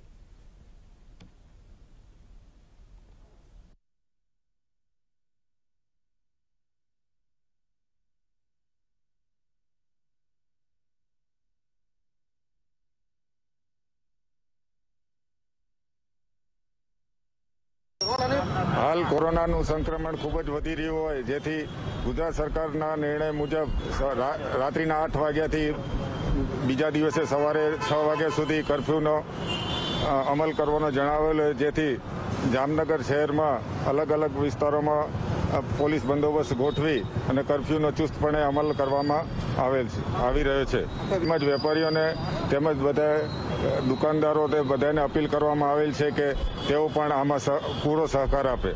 જામનગર શહેરની જે વાત કરવામાં આવે તો હાલ સૌથી પણ વધુ દરરોજ જે પોઝિટિવ કેસ નોંધાઈ રહ્યા છે, ત્યારે ક્યાંક ને ક્યાંક જામનગર શહેરમાં કોરોના સંક્રમણને કાબૂમાં લેવા માટે રાત્રિ કર્ફ્યુ એટલું જ જરૂરી હોય ત્યારે પ્રથમ દિવસથી જ જામનગરની જનતા અને વેપારીઓ દ્વારા સ્વયં જાગૃત થઈને રાત્રિ કર્ફ્યુને જે છે ક્યાંક ને ક્યાંક સમર્થન આપવામાં આવી રહ્યું છે. જેના પગલે જામનગરમાં રાત્રિ કર્ફ્યુનું કડકપણે પાલન જોવા મળી રહ્યું છે. Mushtaq Dal DD news, Jamnagar. તો આ તરફ મહેસાણા જિલ્લામાં રાત્રિ કર્ફ્યુના અમલને ધ્યાને રાખી પોલીસ દ્વારા મુખ્ય માર્ગો પર પેટ્રોલિંગ હાથ ધરાયું હતું. મહેસાણામાં છેલ્લા ચોવીસ કલાકમાં કોરોનાના છ્યાસી કેસ નોંધાયા હતા. શહેરી વિસ્તારમાં ઓગણચાળીસ પોઝિટિવ કેસ તો ગ્રામ્ય વિસ્તારમાં સુડતાલીસ પોઝિટિવ કેસ સામે આવ્યા છે. હાલ જિલ્લામાં કુલ એક્ટિવ કેસની સંખ્યા છસો ચુંબોતેર છે.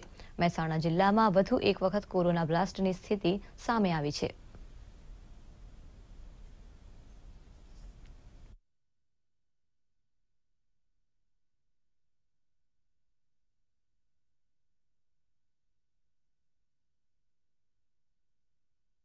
ખાસ કરીને જિલ્લા કલેક્ટર દ્વારા જાહેરનામું બહાર પાડીને સોથી વધારે લોકોને એકઠા થવા પર પ્રતિબંધ આપવામાં આવ્યો છે તથા જાહેર મેળાવડા વગેરે ઉપર પ્રતિબંધ લાદવામાં આવ્યો છે.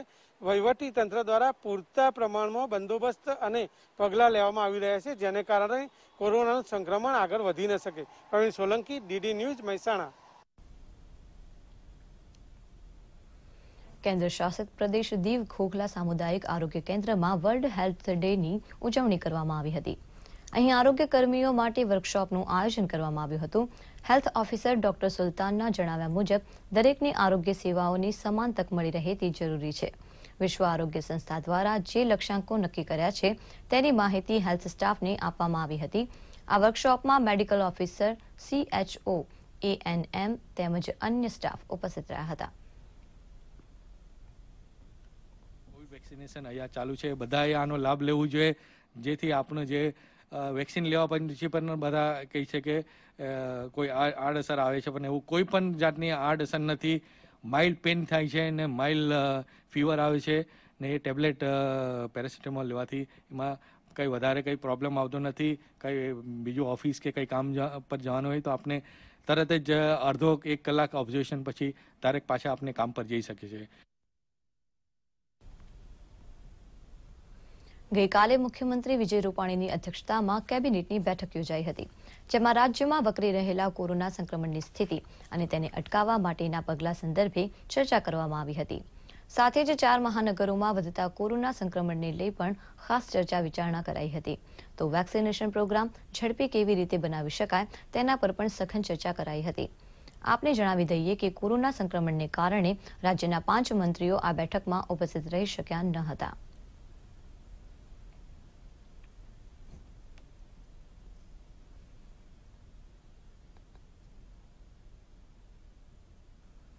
કેબિનેટ મંત્રી મંડળની બેઠકમાં ગઈકાલે ત્રણ મહત્વપૂર્ણ નિર્ણયો લેવામાં આવ્યા હતા, જે અંતર્ગત પ્રોડક્શન લિંક ઇન્સેન્ટિવ યોજના અંતર્ગત એર કન્ડિશનર અને સોલર મોડ્યુલ સ્કીમને મંજૂરી આપવામાં આવી હતી.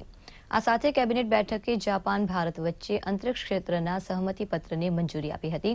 આ અંગે કેન્દ્રીય મંત્રી પિયુષ ગોયલે જાણકારી આપતા કહ્યું કે આ નિર્ણયને કારણે સૌર પેનલના ઉત્પાદન ક્ષેત્રે સત્તર હજાર બસો કરોડનું પ્રત્યક્ષ રોકાણ થશે.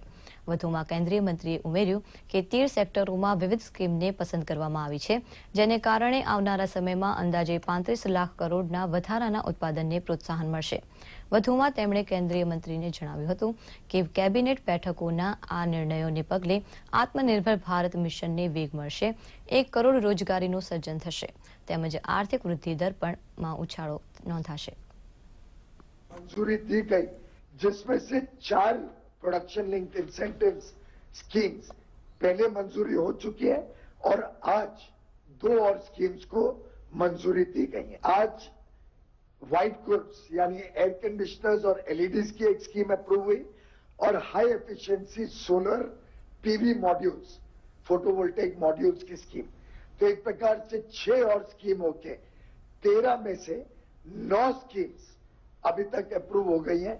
बाकी चार भी बड़े एडवांस स्टेज पे हैं। एक एमओयू की भी मंजूरी दी है। वो जापान का academic research cooperation and exchange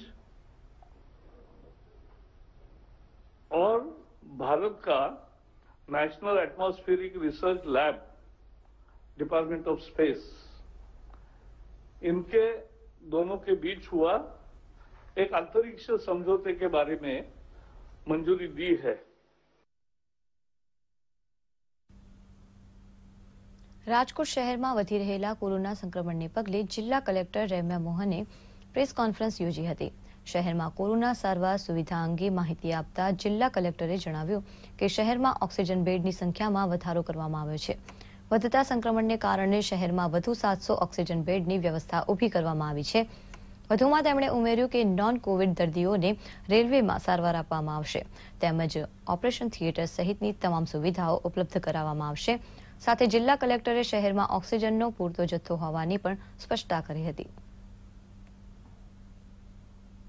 Aravalli જિલ્લામાં કોરોનાના વધતા કહેર વચ્ચે ગ્રામ્ય વિસ્તારોમાં લોકો વધુ સતર્ક બન્યા છે. તેમાં પણ મોડાસા તાલુકાના સરડોઈ ગામ દ્વારા બે દિવસનું લોકડાઉન જાહેર કરાયું છે. ગ્રામ પંચાયત દ્વારા બે દિવસ માટે દુકાનો બંધ રાખવાનો નિર્ણય લેવામાં આવ્યો છે. માત્ર આવશ્યક સેવાઓને જ મંજૂરી આપવામાં આવી છે. લોકડાઉનને કારણે સરડોઈ ગામે કરફ્યુ જેવો માહોલ જોવા મળી રહ્યો છે. શહેરમાં કોરોનાનું સંક્રમણ વધતા ગામમાં સંક્રમણ ફેલાય નહીં, તે હેતુથી પંચાયત દ્વારા આ નિર્ણય લેવાયો છે. બધા ભેગા મળી અને અમે બે દિવસ સ્વૈચ્છિક લોકડાઉન રાખેલ છે. આજુબાજુ સવાર સાંજ અમુક ટાઈમ લોકોની જીવન જરૂરિયાતની વસ્તુ માટે જ થોડો સમય ખોલી અને પછી સ્વૈચ્છિક બંધ કરી દીધું છે. લોકોને દૂર સુધી લેવા માટે જવું ના પડે એટલે કરિયાણાની દુકાન ને બધું સવાર સાત થોડો સમય સ્વૈચ્છિક ખોલી અને લોકો બંધ કરી દે. દૂરદર્શન પરિવાર તરફથી તમામ દર્શકોને અપીલ કરવામાં આવે છે કે માસ્ક અવશ્ય પહેરો. સોશિયલ ડિસ્ટન્સિંગનું પાલન કરો. વારંવાર હાથ ધોવો અને અચૂક વેક્સિન લો. આ સમજદારી જ કોરોનાથી બચાવશે. આ સાથે જ આ ન્યૂઝ સમાપ્ત કરીએ. નમસ્કાર.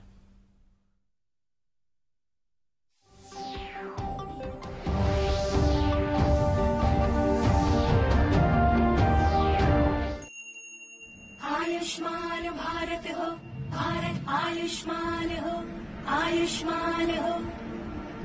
भारत को आयुष्मान बनाने, जन जन को आरोग्य बनाने। देश हित में चली हवा, मुफ़्त में उपचार मिलेगी दवा। चली चली।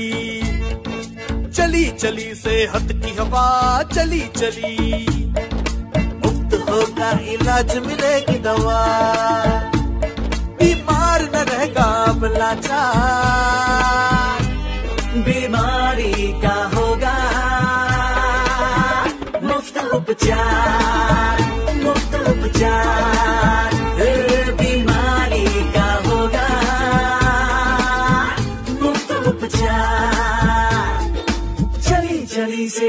हवा, चली चली।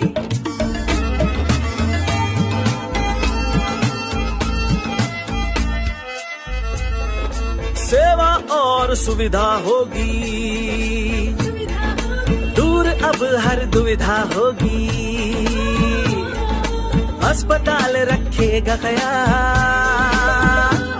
जन जन आरोग्य और खुशहाल।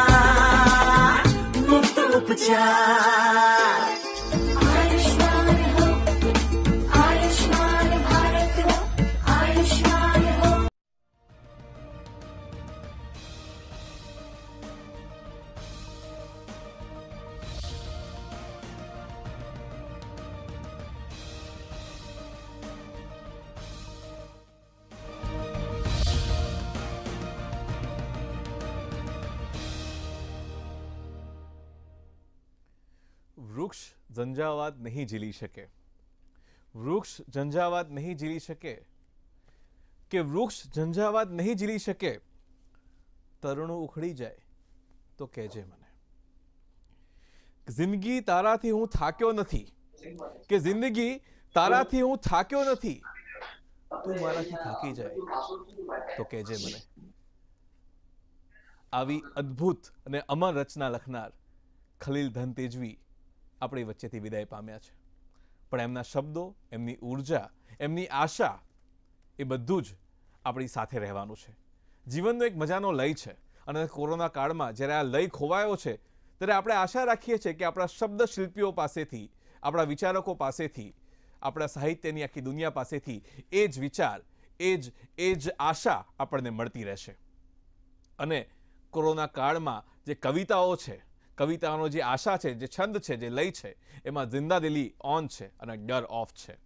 આજે જ્યારે રાજ્યમાં આંશિક લોકડાઉનની ચર્ચાઓ ચાલી રહી છે, કોરોના બધાને ગભરાવી રહ્યો છે, ત્યારે શબ્દ દેવ પાસેથી આપણે આશાને ઝંખીએ છીએ. અને આ કાર્યક્રમમાં, આ ચર્ચામાં, આ પ્રકારની વાત કરવા માટે આપણી સાથે સ્ટુડિયોમાં હાજર છે એક મહેમાન.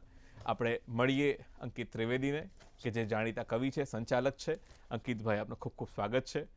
અને આપણી સાથે સુરતથી જોડાયા છે જાણીતા મનોચિકિત્સક કવિ લેખક ડૉક્ટર મુકુલ ચોકસી. મુકુલભાઈ આપનું પણ દૂરદર્શનમાં ખૂબ ખૂબ સ્વાગત છે. અંકિતભાઈ આપનાથી શરૂઆત કરીએ. જિંદગી તારાથી હું થાક્યો નથી. તું જો થાકી જાય તો કહેજે મને. ક્યાં બાત હે? તો ખલીલ સાહેબની કવિતામાં જે ના થાકવાની વાત છે, જે લડવાની વાત છે, એ શું છે?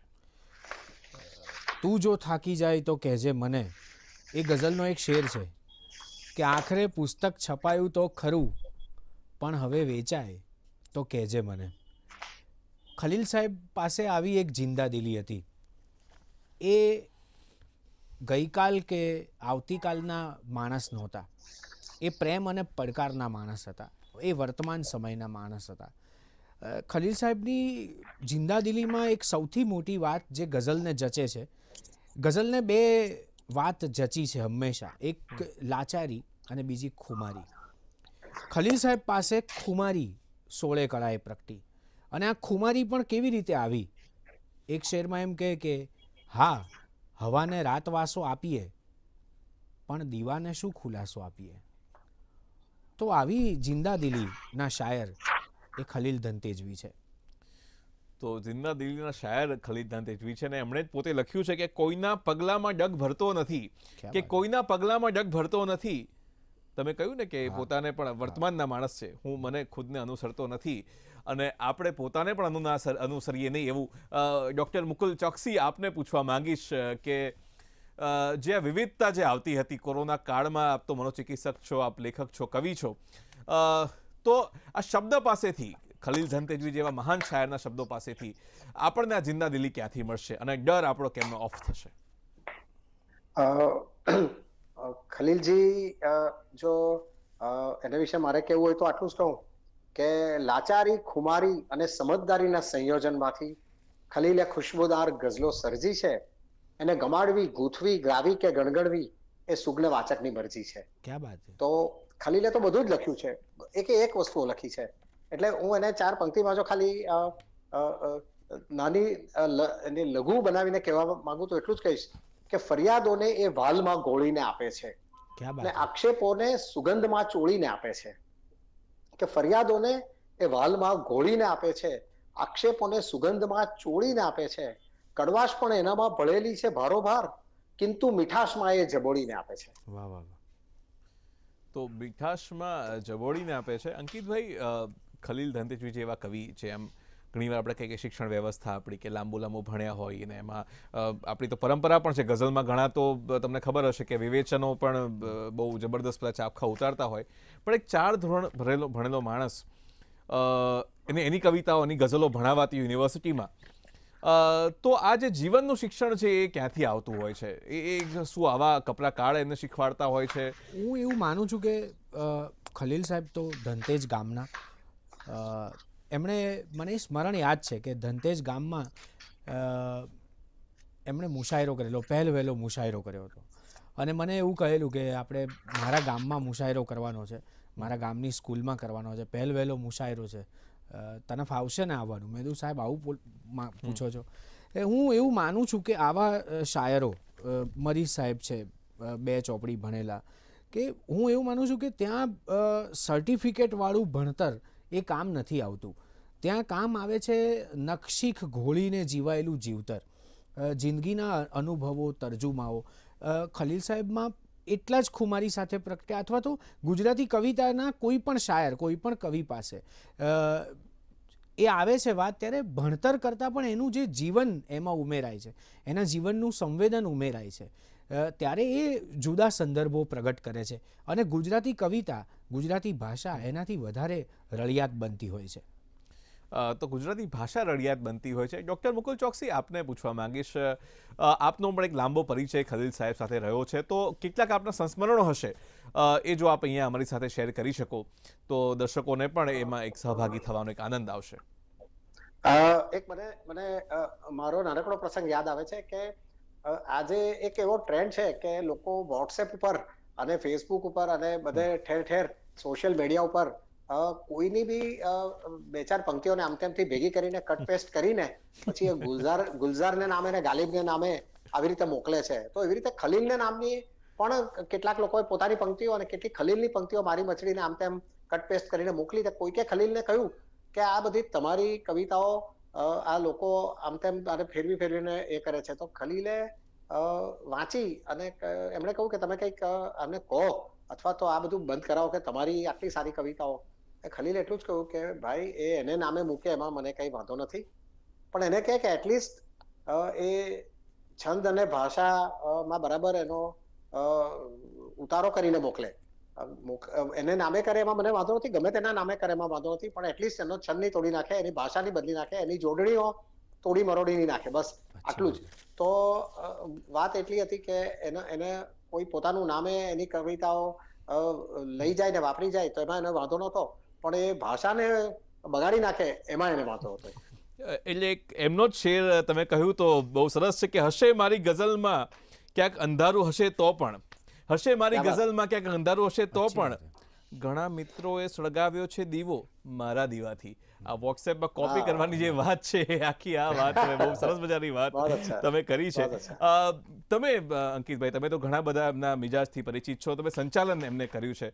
જ્યારે પ્રસ્તુત કરતા હો ખલીલભાઈ ખલીલભાઈને તંતેજવી એવા એટલા મોટા શાયરને તો તમારી તમે કેવી તૈયારી તમાર તમારા તમારી મનોસ્થિતિ કેવી હોય છે? તમને કેટલી ઊર્જા આવતી હોય? કારણ કે જનરલી તો એ શો સ્ટોપર જ હોય.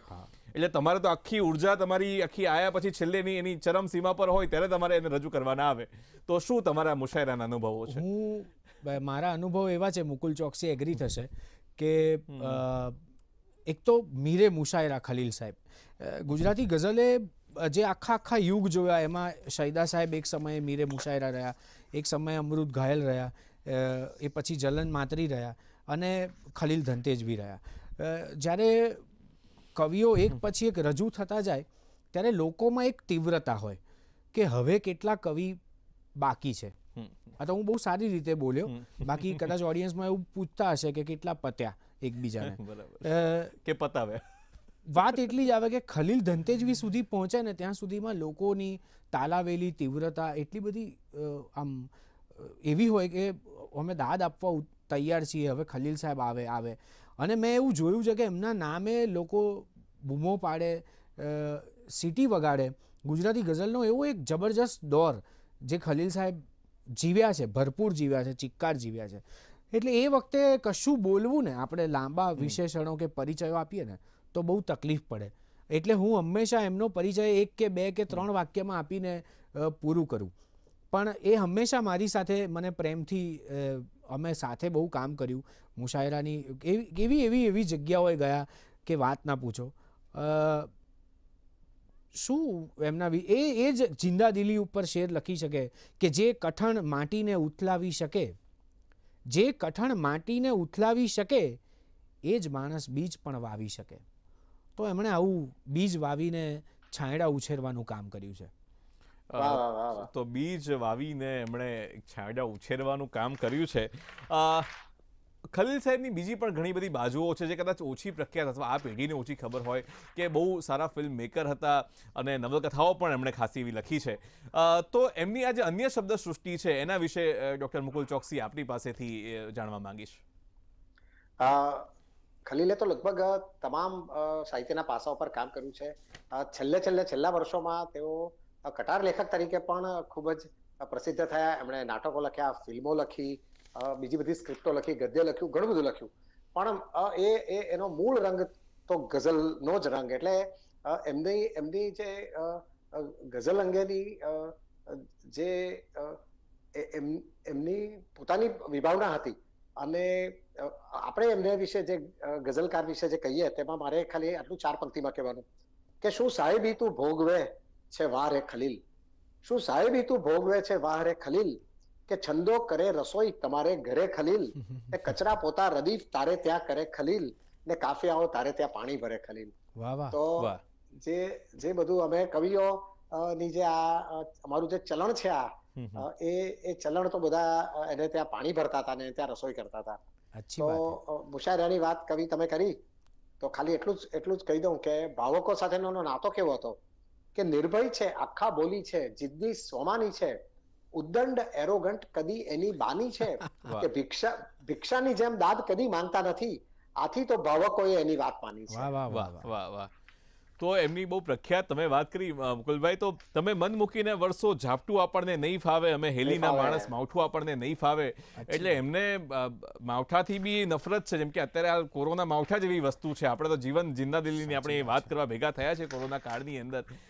તો અંકિતભાઈ કે જે માણસને હાર્ટ એટેક આવ્યા હોય છપ્પન વર્ષની ઉંમરે હાર્ટ એટેક આવે પછી ઘણા બધા આવ્યા ત્રણ વાર એન્જિયોપ્લાસ્ટી થઈ હોય એવા કવિ એટલા વિશાળ દિલ રાખીને કેમનું જીવી શકાય? કારણ કે કોરોના કાળમાં ઘણા બધાને એવું થયું છે કે ઘણી બધી હિંમત અત્યારે હારી રહ્યા છે. કદાચ અત્યારે જોતા હશે અને અત્યારે પણ વિચારતા હશે કે શું થશે શું થશે? ત્યારે આપણી સામે એવું વ્યક્તિત્વ છે કે જે આટલા બધા જીવનના પડકારો ઝીલીને પણ જિંદા દિલ્હીથી જીવી ગયો અને જીવતા શીખવાડી પણ ગયો. તો એના વિશે તમારું શું કહેવું છે? ઉત્સવભાઈ મુકુલભાઈ મારી વાત સાથે સંમત થશે. મુકુલભાઈ તો અમે જાણીએ છીએ ખલીલ સાહેબને. મેં ઉત્સવભાઈ એમને ક્યારેય ફરિયાદ કરતા કે નિરાશાની ગરતામાં મેં ક્યારે એમને જોયા જ નથી. એ જ્યારે ચૂપ હોય મૌન હોય ત્યારે સમજી લેવું કે હવે કંઈક એવું જોરદાર આવવાનું છે સર્જન કે જેનો જડબે સલાક જવાબ એ આપોઆપ એમના એમના શબ્દોમાં એમની ગઝલમાં આપી દેશે. એમનું એ સૌથી મોટું જમા પાસું રહ્યું કે એમણે બહુ જ બધા કાર્યક્ષેત્રમાં કામ કર્યું. કદાચ એ કાર્યક્ષેત્રમાં એમને જોઈએ એવી સફળતા કદાચ નહીં મળી હોય. પણ એમને જે ક્ષેત્ર પાસેથી અપેક્ષા નહોતી, ત્યાંથી એમને ભરપૂર આકાશ ભરાઈ જાય એટલી સફળતાઓ મળી. એટલે એનો એક સંતોષ પણ એમની પાસે હતો. આ એક એવું વ્યક્તિત્વ કે જે આટલા બધા, આટલા એટેક સાથે, આટલા જીવન, એમના એમના શરીર એમનાથી થોડુંક અસહકારનું આંદોલન કરતું હતું. પણ એ પોતે બહુ એકદમ અડીખમ અને મક્કમ રહ્યા. એટલે જ આવો શાયર એમ લખી શકે કે હું જીવ્યો છું, ન સમજો કે ફક્ત જીવ્યો છું. પહેલાંમાં એમ કહે છે કે જીવ્યો છું, પછી એમ કહે છે કે એટલું જ નથી જીવ્યો કે હું જીવું છું. હું જીવ્યો છું, ન સમજો કે ફક્ત જીવ્યો છું, શ્વાસની અડચણો વેઠીને સખત જીવ્યો છું. આપ તો આખું જીવન સાવ સળંગ જીવી ગયા. હું એક જિંદગી દસ બાર વખત જીવ્યો છું. દસ બાર વખત જીવી ચૂકેલા શાયર જિંદાદિલ શાયર ખલીલ ધનતેજવી છે. તો દસ બાર વખત જીવી ચૂક્યા હોય એવા શાયર ખલીલ ધનતેજવી. આ વાત આપણે શરૂ રાખીશું. શ્વાસની અડચણની વાત કરી અહીંયા આપણે વિરામની નાનકડી અડચણ લેવી પડશે. આ વિરામની નાનકડી અડચણ બાદ આપણે આ વાતોનો પ્રવાહ ચાલુ રાખીશું. જોતા રહો આપણા મુદ્દા આપણી વાત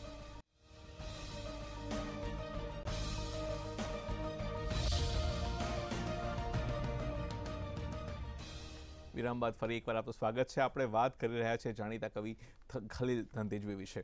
આપણે ડૉક્ટર મુકુલ ચોકસી પાસે જઈએ. ડૉક્ટર મુકુલ ચોકસી, આપને કહેવા માંગુ છું કે આપ મનોચિકિત્સક છો. ઘણા બધા દર્દીઓ આપની પાસે આવતા હશે. પોતાના દુઃખ લઈને દર્દ લઈને કોરોના કાળમાં તો હતાશા ખાસી વ્યાપી છે લોકોના મનમાં. તમને જો પ્રિસ્ક્રિપ્શનમાં કવિતા લખવાનું કહેવામાં આવે, તો કઈ ગઝલના શેર અથવા કઈ કઈ રચના ખલીલ સાહેબની આપ, આપના પેશન્ટને આપો? અમારે ત્યાં આર્થિક તકલીફોથી ત્રસ્ત લોકો ઘણા આવતા હોય છે. તો ખલીલે આ તમામ જે લોકો અર્થવ્યવસ્થાથી પીડિત છે અને જે લોકો પૈસે ટકે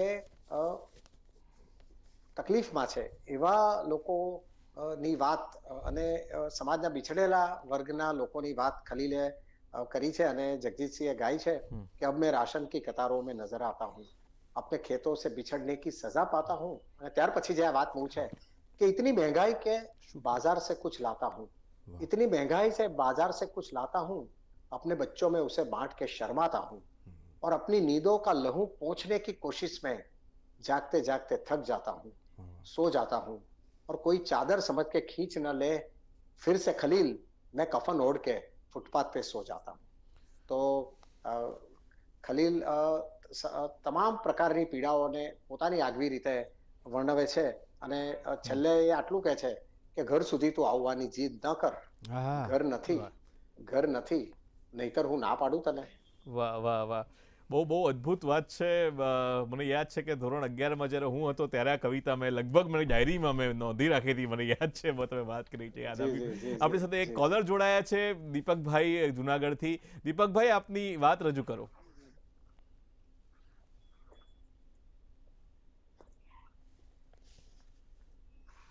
હલો. હલો. દીવાની વાત બહુ કરી છે ખલીલ સાહેબે પોતાની શાયરીમાં. તો દીપકભાઈ આપણી સાથે જોડાય છે. દીપકભાઈ આપની વાત રજૂ કરો. જી. એક જે આ સંક્રમણ કાળ છે એમાં તટસ્થતા એક સેન્સિટિવ વ્યક્તિ હોય એ કઈ રીતે રાખી શકે એમ? કારણ કે તટસ્થતા રાખવી આ સમયમાં બહુ અઘરું છે તો એનો જવાબ જોઈએ છે મારે. એક સ્થિરતા કેમની રાખવી આવા કાળમાં જ્યારે બધું ડગમગી રહ્યું છે? મને આવા સમયે મોરારી બાપુએ કહેલી વાત યાદ આવે છે. એમણે એમ કહ્યું કે બધી જ બારીઓ બંધ થઈ ચૂકી હોય. ત્યારે જે એકાદ બારી ખુલ્લી હોય ને એને પણ બંધ કરી દેવી. આ વિષમ પરિસ્થિતિ છે એટલે કદાચ દીપકભાઈ તમારી જેમ ભલભલા લોકો તટસ્થ ના રહી શકે. આ પરિસ્થિતિ જ વિષમ છે સમ નથી એટલા માટે. પણ બને ત્યાં સુધી એના બહુ જ બધા ઉપાયો છે આપણી પાસે. યોગ કરી શકાય પુસ્તકો વાંચી શકાય સારું સંગીત સાંભળી શકાય. અને આ બધું કર્યા પછી એકદમ તમે તમારી અંદર ઉતરીને આ બધું વાગોળ્યો, વાગોળી શકો. ત્યારે કદાચ વધારે તમે તમારી નજીક જઈ શકશો. અને આ પરિસ્થિતિમાં બને એટલા તમે તટસ્થ રહી શકશો. અને દીપકભાઈ, જો આનો સવાલ આપણે આપે પૂછ્યો ખલીલભાઈને આ જો એમના શબ્દોમાં જવાબ આપવો હોય તો આપણું દીપક છે એટલે એક આપણે કહું કે સ્થિર જળ સાથે અટકચાળા ન કર. કે સ્થિર જળ સાથે અટકચાળા ન કર કાંકરા નાખીને કુંડાળા ન કર. લોક દિવાળી ભલે ને ઉજવે દીપકભાઈ. લોક દિવાળી ભલે ને ઉજવે પેટ બાળીને તું અજવાળા ના અજવાળા ના કર. તો આ જે વાત છે એ મને લાગે છે કે આપણે જે સ્થિરતા સાથે જીવવાની જે વાત છે મુકુલ ચોકસી આની સામે ખલીલ સાહેબનો જ એક શેર કહેવો છે કે અમે અમારી રીત પ્રમાણે રાતોને અજવાળી છે. અમે અમારી રીત પ્રમાણે રાતોને અજવાળી છે. અજવાળી છે. તમે ઘરે દીવો સળગાવ્યો. અમે જાતને બાળી છે. વાત તો જાતને બાળી છે. મુકુલ ચોકસી સાહેબ આપને કહેવા માંગીશ પૂછવા માંગીશ કે પરંપરા અને પ્રયોગને સાથે લઈને ચાલનારા આપણે ખલીલ ધન તેજવી તો એમની એક છે એમને એમની એમના શેરથી વાત કરું કે હા વિવેચક છો તમે જાણું છું હું પણ જરા આગા ખસો રસ્તો કરો. આપ છો ભાષા ભવનના માસ્તર આપ છો ભાષા ભવનના માસ્તર. લો જરા ટહુકાનો ટહુકાનો તરજુમો કરો. તો આ કઈ રીતના આ જે વાત કહી રહ્યા છે વિવેચકોને પણ અતિક્રમીને જ્યારે આમના શબ્દ ભાવક સુધી પહોંચે છે અને ઘણીવાર લોકપ્રિય થવું અને અને અને સાહિત્યના જે માપદંડો છે એમાં પણ ખરા ઉતરવું આ બંને સાથે લઈને ચાલવું બહુ અઘરી વસ્તુ છે. તો આ જે કહુકાની દુનિયાનો જે માણસ છે એ કઈ રીતે પ્ર- પરંપરા અને પ્રયોગને સાથે લઈને ચાલ્યો? એના વિશે થોડીક વાત. ઉત્સવભાઈ હું તો હું તો માત્ર આ વાત આપે જે વાત કરી એ જ વાત હું ચાર પંક્તિમાં મૂકીને આપું કે વાણીમાં ખોટો ગર્વ ઘમંડ કે ગરુર નથી. વાણીમાં ખોટો ગર- ગર્વ ઘમંડ કે ગુરુર નથી ને વર્તનમાં ચાપલૂસી નથી જી હજુર નથી કોખ્યો છે એના ચાહકોએ એને એટલો કે જ્ઞાનપીઠ કે પદ્મશ્રીની પણ જરૂર નથી. વાહ વાહ. તો બસ એને તો એને તો એ- એને શ્રોતાઓની દાદ મળી ગઈ વાહ મળી ગયું અને દુબારા મળી ગયું. એને એને કોઈ વિવેચનાની જરૂર નથી કે એને કોઈ એવોર્ડની જરૂર નથી. વાહ. તો બહુ સરસ વાત કરી કે લઈ વગર શબ્દો વગર મતલા વગર હું ગઝલ લખતો રહ્યો સમજ્યા વગર તે તો તારો છાંયડો આપ્યો મને હું જ ના જંપી શક્યો તડકા વગર. તો શું કોરોના કાળમાં અંકિતભાઈ આપણી સ્થિતિ પણ ક્યાંક આવી જ થઈ રહી છે? આપણી સ્થિતિ કોરોના કાળમાં આવી જ છે પણ આપણે કોરોના કાળમાં તકેદારી રાખવાની છે. જેમ મુકુલભાઈએ કહ્યું એમ કે ખલીલ સાહેબને કોઈ એવોર્ડની પડી નથી. એમને માટે ભાવકો એ એમને બહુ પૂરતા એવોર્ડ આપ્યા. એમ આ કાળ એવો છે કે આપણે કોરોના કાળમાં છીએ અને છતાંય આપણને કોરોના ન થાય. આપણે પેન્ડેમિક ન થઈએ. આપણે આપણી જાતને બચાવીને સુરક્ષિત રાખી શકીએ એવા બધા જ એવી બધી જ તકેદારીઓ આપણે રાખવી જોઈએ. અને કદાચ જાત સલામત તો જગત સલામત. તો મને એવું લાગે છે કે આ જ ખરો આપણો મુદ્દો છે અને આ જ ખરી આપણી વાત છે. વાહ વાહ બહુ અદ્ભુત વાત તમે કરી એકદમ કાવ્યમય શૈલીમાં. દીપકભાઈને બહુ પ્રેમ લાગે છે આ શોથી. દીપકભાઈ બોરસદથી બીજા જોડાયા છે. દીપકભાઈ આપનો પ્રશ્ન પૂછો.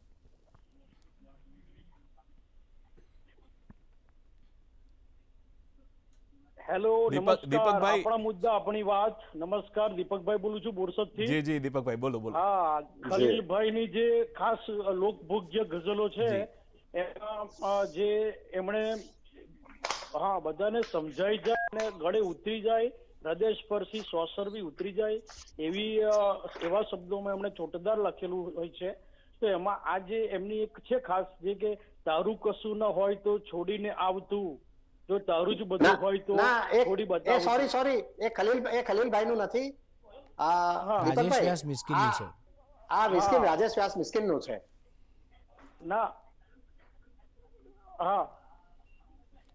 જી આપની આપની ભાવના વ્યક્ત થઈ ગઈ ભલે શબ્દ એ હોય પણ ભાવના એ છે. પણ આપ આપ દીપકભાઈ આપ પૂછો આપની વાત મૂકો. Okay okay. અને એમની જે જેમની જે મુસાયરાની શરૂઆત જે થાય છે કે આ, મારી વાત જેને જે વાત સમજાતી નથી. સમજાતી નથી. એ ભલે જે હોય તે ગુજરાતી નથી એમ. બરાબર છે પણ જે ગુજરાતી નથી પણ એમાં જ એક વાત મૂકો તો સાવ ઓછી તો સભા છોડી કોઈ ચાલ્યું ગયું કોઈ ના પૂરી શકે એવી જગા ખાલી પડી. છેવટે એક ચપટું અજવાળી પામી ન શક્યો ક્યાંકથી આવીને દીવાને હવા બાજી પડી તો આપણા દીવા દીપકભાઈની વાત આવી એટલે આ દીવો આપણો ઓલવાયો ને હવા બાજી પડી અને આટલા વર્ષો પછી બાર બારે જન્મ થયો ને ચાર ચારે એમનું ચાર ચારે હવા બાજી પડી. તો શું લાગે છે કે ફરી તોફાન કે ફરી આવો આગનો આખો ભડકો જ્વાળામુખી કહીએ શબ્દોનો એવો આવશે ખરો ગુજરાતી સાહિત્યમાં? જરૂર આવશે. ગુજરાતી સાહિત્યમાં સમયાંતરે આવો યુગ લઈને કવિઓ ચાલ્યા જ છે આવ્યા જ છે. હું તો કૃષ્ણલાલ સિદ્ધરાણીના શબ્દોમાં કહું તો આપણે આકાશ ખેડવું છે. આ તારાઓ સરખા નથી વવાયા. એક કવિ આવે છે ને આકાશ ખેડીને જાય છે. અને ગુજરાતી સાહિત્ય આવી બધી જ પ્રવૃત્તિઓથી આવી કવિતાઓથી આવા વાયરાથી આવી ખુમારીથી હંમેશા રળિયાત રહ્યું છે. તો બસ એ ખલીલભાઈનો જ બીજો એક શેર તમે કહ્યું એ પ્રમાણે કે નવો માર્ગ મેં કંડાર્યો હતો ખુદ મારા પગલાથી. નવો માર્ગ મેં કંડાર્યો હતો ખુદ મારા પગલાથી. ઘણી પગદંડીઓ ફૂટી પછી તો એ જ રસ્તાથી. તો નવી પગદંડી ફૂટવાની વાત અંકિતભાઈએ પણ કરી. ડોક્ટર મુકુલ આપનું શું કહેવું છે કે જ્યારે કોરોના કાળમાં આપણે અટકી ગયા છીએ તો. કઈ નવી પગદંડી આપણે પણ અંદરથી કંડારવાની છે? બસ હું તો આ આ ના કોરોના કાળને આપણે સારી રીતે પસાર કરી શકીએ એને માટે આટલું જ કહીશ કે મારા ઉપર પ્રસન્ન થઈ જો પ્રભુ કહે મારા ઉપર પ્રસન્ન થઈ જો પ્રભુ કહે કે હે વત્સ આજે કોઈ પણ મુશ્કેલ ટાસ્ક આપ તો નત મસ્તકે હું માગું પ્રભુ પાસે એટલું જ કે પૃથ્વી આખીએ પહેરી શકે એવો માસ્ક આપ. વાહ વાહ. વાહ વાહ. તો પૃથ્વી આખીએ પહેરી શકે એટલો માસ્ક આપ. અંકિતભાઈ, આપને કહેવા માંગીશ કે આટલી બધી વિવિધતા સાથે જ્યારે માણસ જીવતો હોય, તો એક સામાન્ય માણસ આમના આટલા આટલા મોટા વિશાળ જીવનમાંથી કેવી વાતો છે જે લઈ શકે આવા સમયમાં, ખાસ કરીને જ્યારે અંદર આત્મા ડગી ગયો હોય અને કવિ તો આત્માનો શબ્દ બોલે છે. ખલીલ સાહેબના જીવનમાંથી શીખવા જેવી બાબત જેનું આપણે આ શીર્ષક આપ્યું છે જિંદાદિલી ખુમારી. અ, કોઈ પણ વિષમ પરિસ્થિતિનો ચૂપકીદીથી સામનો આ જગતમાં ક્યાંય બોલીને ફરિયાદો કરીને કશું થયું નથી. અને જ્યાં કહેવાનું છે ત્યાં શબ્દ બરાબર આપોઆપ લાગે વળગે એવી રીતે નીકળે. ઉચ્ચરે એમની ગઝલો આપણે જોઈએ ત્યારે આપણને એની પૂરતી પ્રતીતિ થાય છે. તો મને એમ લાગે છે કે ખલીલભાઈ પાસે આવી એક ખુમારી હતી. ઓડિયન્સ કોઈ પણ પ્રકારનું હોય પણ ખલીલ ધંતેજવી રજૂ થાય પછી ઓડિયન્સ એ ગુજરાતીમય ગઝલમય બની જાય. અને આ જ ખુમારી એમની પાસેથી આ જ કાબેલિયત એમની પાસેથી શીખવા જેવી છે. તો આજ કાબેલિયત શીખવા જેવી છે. ડૉક્ટર મુકુલ ચોકસી છેલ્લો આપને પ્રશ્ન પૂછીશ કે કેવી રીતના પોતાના શબ્દોમાં આપ એમને યાદ કરશો અને લોકોને કહેશો કે કેવી રીતના આ આટલો આટલો મહાન વ્યક્તિ આટલા આટલા શબ્દો સાથે આપણી સાથે જીવ્યો હતો? ઉત્સવભાઈ હું એમને એમના જ બે શેર દ્વારા યાદ રાખું છું કે માણસ ફરિયાદ પણ કરે ને તો કેટલી નાજુકાઈ ને કેટલી સલુકાઈથી કેટલી નજાકતથી કરી શકે છે જે એમણે એમના બે અ, ઉર્દુ શેરોમાં કહ્યું છે કે तुमने तो रो रो के दुपट्टे पानी पानी कर डाले क्या बात है तुमने तो रो रो के दुपट्टे पानी पानी कर डाले हम भी कभी तन्हाई में रोए चुपके चुपके उसका क्या और सबने हमारे रहन सहन और खाना पीना ही देखा सबने हमारी रहन सहन और खाना पीना ही देखा हमने अपने कच्चे पक्के सपने बेचे उसका क्या વાહ હમને अपने કચ્ચે પક્કે સપને બેચે ઉસકા ક્યાં અંકિતભાઈ આપની પાસેથી પણ એવી જ એક સુખ ચેન તો કર્તવ્ય વગર ક્યાંથી લાવશો સુખ ચેન તો કર્તવ્ય વગર ક્યાંથી લાવશો તમને દુઆ મળશે અસર ક્યાંથી લાવશો ને બંગલો તો ઓછા વત્તે ગમે ત્યાં મળી જશે ઘર ઘર કહી શકાય એ ઘર ક્યાંથી લાવશો શંકરની જેમ નાગને મફલર કરી શકો. પણ ઝેર પી જવાનું જીગર ક્યાંથી લાવશો? વાહ. વાહ તો ઝેર પી જવાનું જીગર ક્યાંથી લાવશો? અને છેલ્લો શેર હું પણ મને પણ એક થોડો આછો પાછો યાદ આવે છે કે નાગને પણ. ઝેર પીવું પડે એવા દિવસો આવ્યા છે. શબ્દો બરાબર યાદ નથી પણ નાગને પણ ઝેર પીવું પડે એવા દિવસો આવ્યા છે. મદારી માણસ પાડતો થઈ ગયો છે. હવે માણસ પકડતા પકડતા આવડી ગયું છે હવાનો હાથ ઝાલીને નીકળતા આવડી ગયું છે. મને આછો મને ખુશ્બુની દુઃખથી નગ રગ પકડતા આવડી ગયું છે. મદારીને હવે ખુશ્બુની દુખતી રગ પકડતા આવડી ગયું છે. કદાચ કોરોના પણ આ શેર વાંચી ગયો છે એટલા માટે એને પણ આપણી રગ પકડતા આવડી ગયું છે. તો દર્શક મિત્રો આજ કાવ્યમય સંવાદ સાથે આવી જ ઊર્જા આવી જિંદાદિલી આવી આવો જ ઉત્સાહ તમારા જીવનમાં પણ પ્રસરે અને આપ પણ હસી ખુશી રમતા રમતા આટલી બધી મુસીબતો સામે લડતા લડતા આત્માની તાકાતથી, આત્મબળથી આ જે પેન્ડેમિક છે, આ જે રોગચાળો છે, આ કોરોના કાળની જે વિષમતાઓ છે, એનો સામનો કરી શકો એવી જ અભ્યર્થના સાથે અહીં વિરમું છું. તો અમારી સાથે જોડાવા બદલ અંકિતભાઈ ત્રિવેદી આપનો અને ડૉક્ટર મુકુલ ચોકસી આ બંને કવિ મિત્રોનો ખૂબ ખૂબ આભાર માનું છું. તો દર્શક મિત્રો આ હતો આપણા મુદ્દા આપણી વાતનો ખાસ એપિસોડ ફરી મળીશું આવતા શુક્રવારે એક નવા વિષય સાથે ત્યાં સુધી રજા આપશો આવશો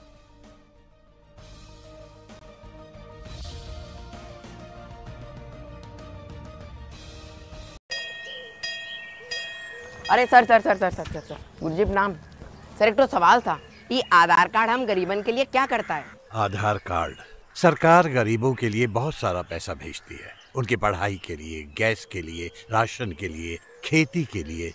लेकिन उस पैसे में से काफ़ी सारा पैसा उन तक पहुँचने से पहले ही बीच में ही लीक हो जाता है। बिल्कुल बिल्कुल इस पाइप की लीकेज की तरह। तो सर इसमें आधार कार्ड क्या करता है? आधार पाइप में छेद करने वाले बेईमानों को पहचान लेता है। और फिर? फिर क्या?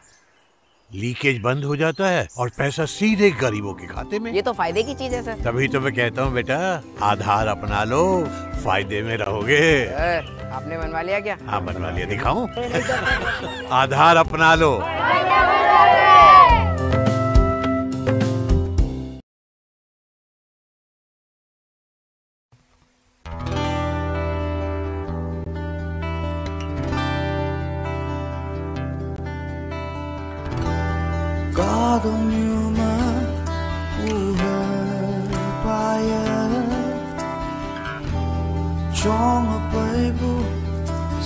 过อเอ่忘了，更งชอบข怕的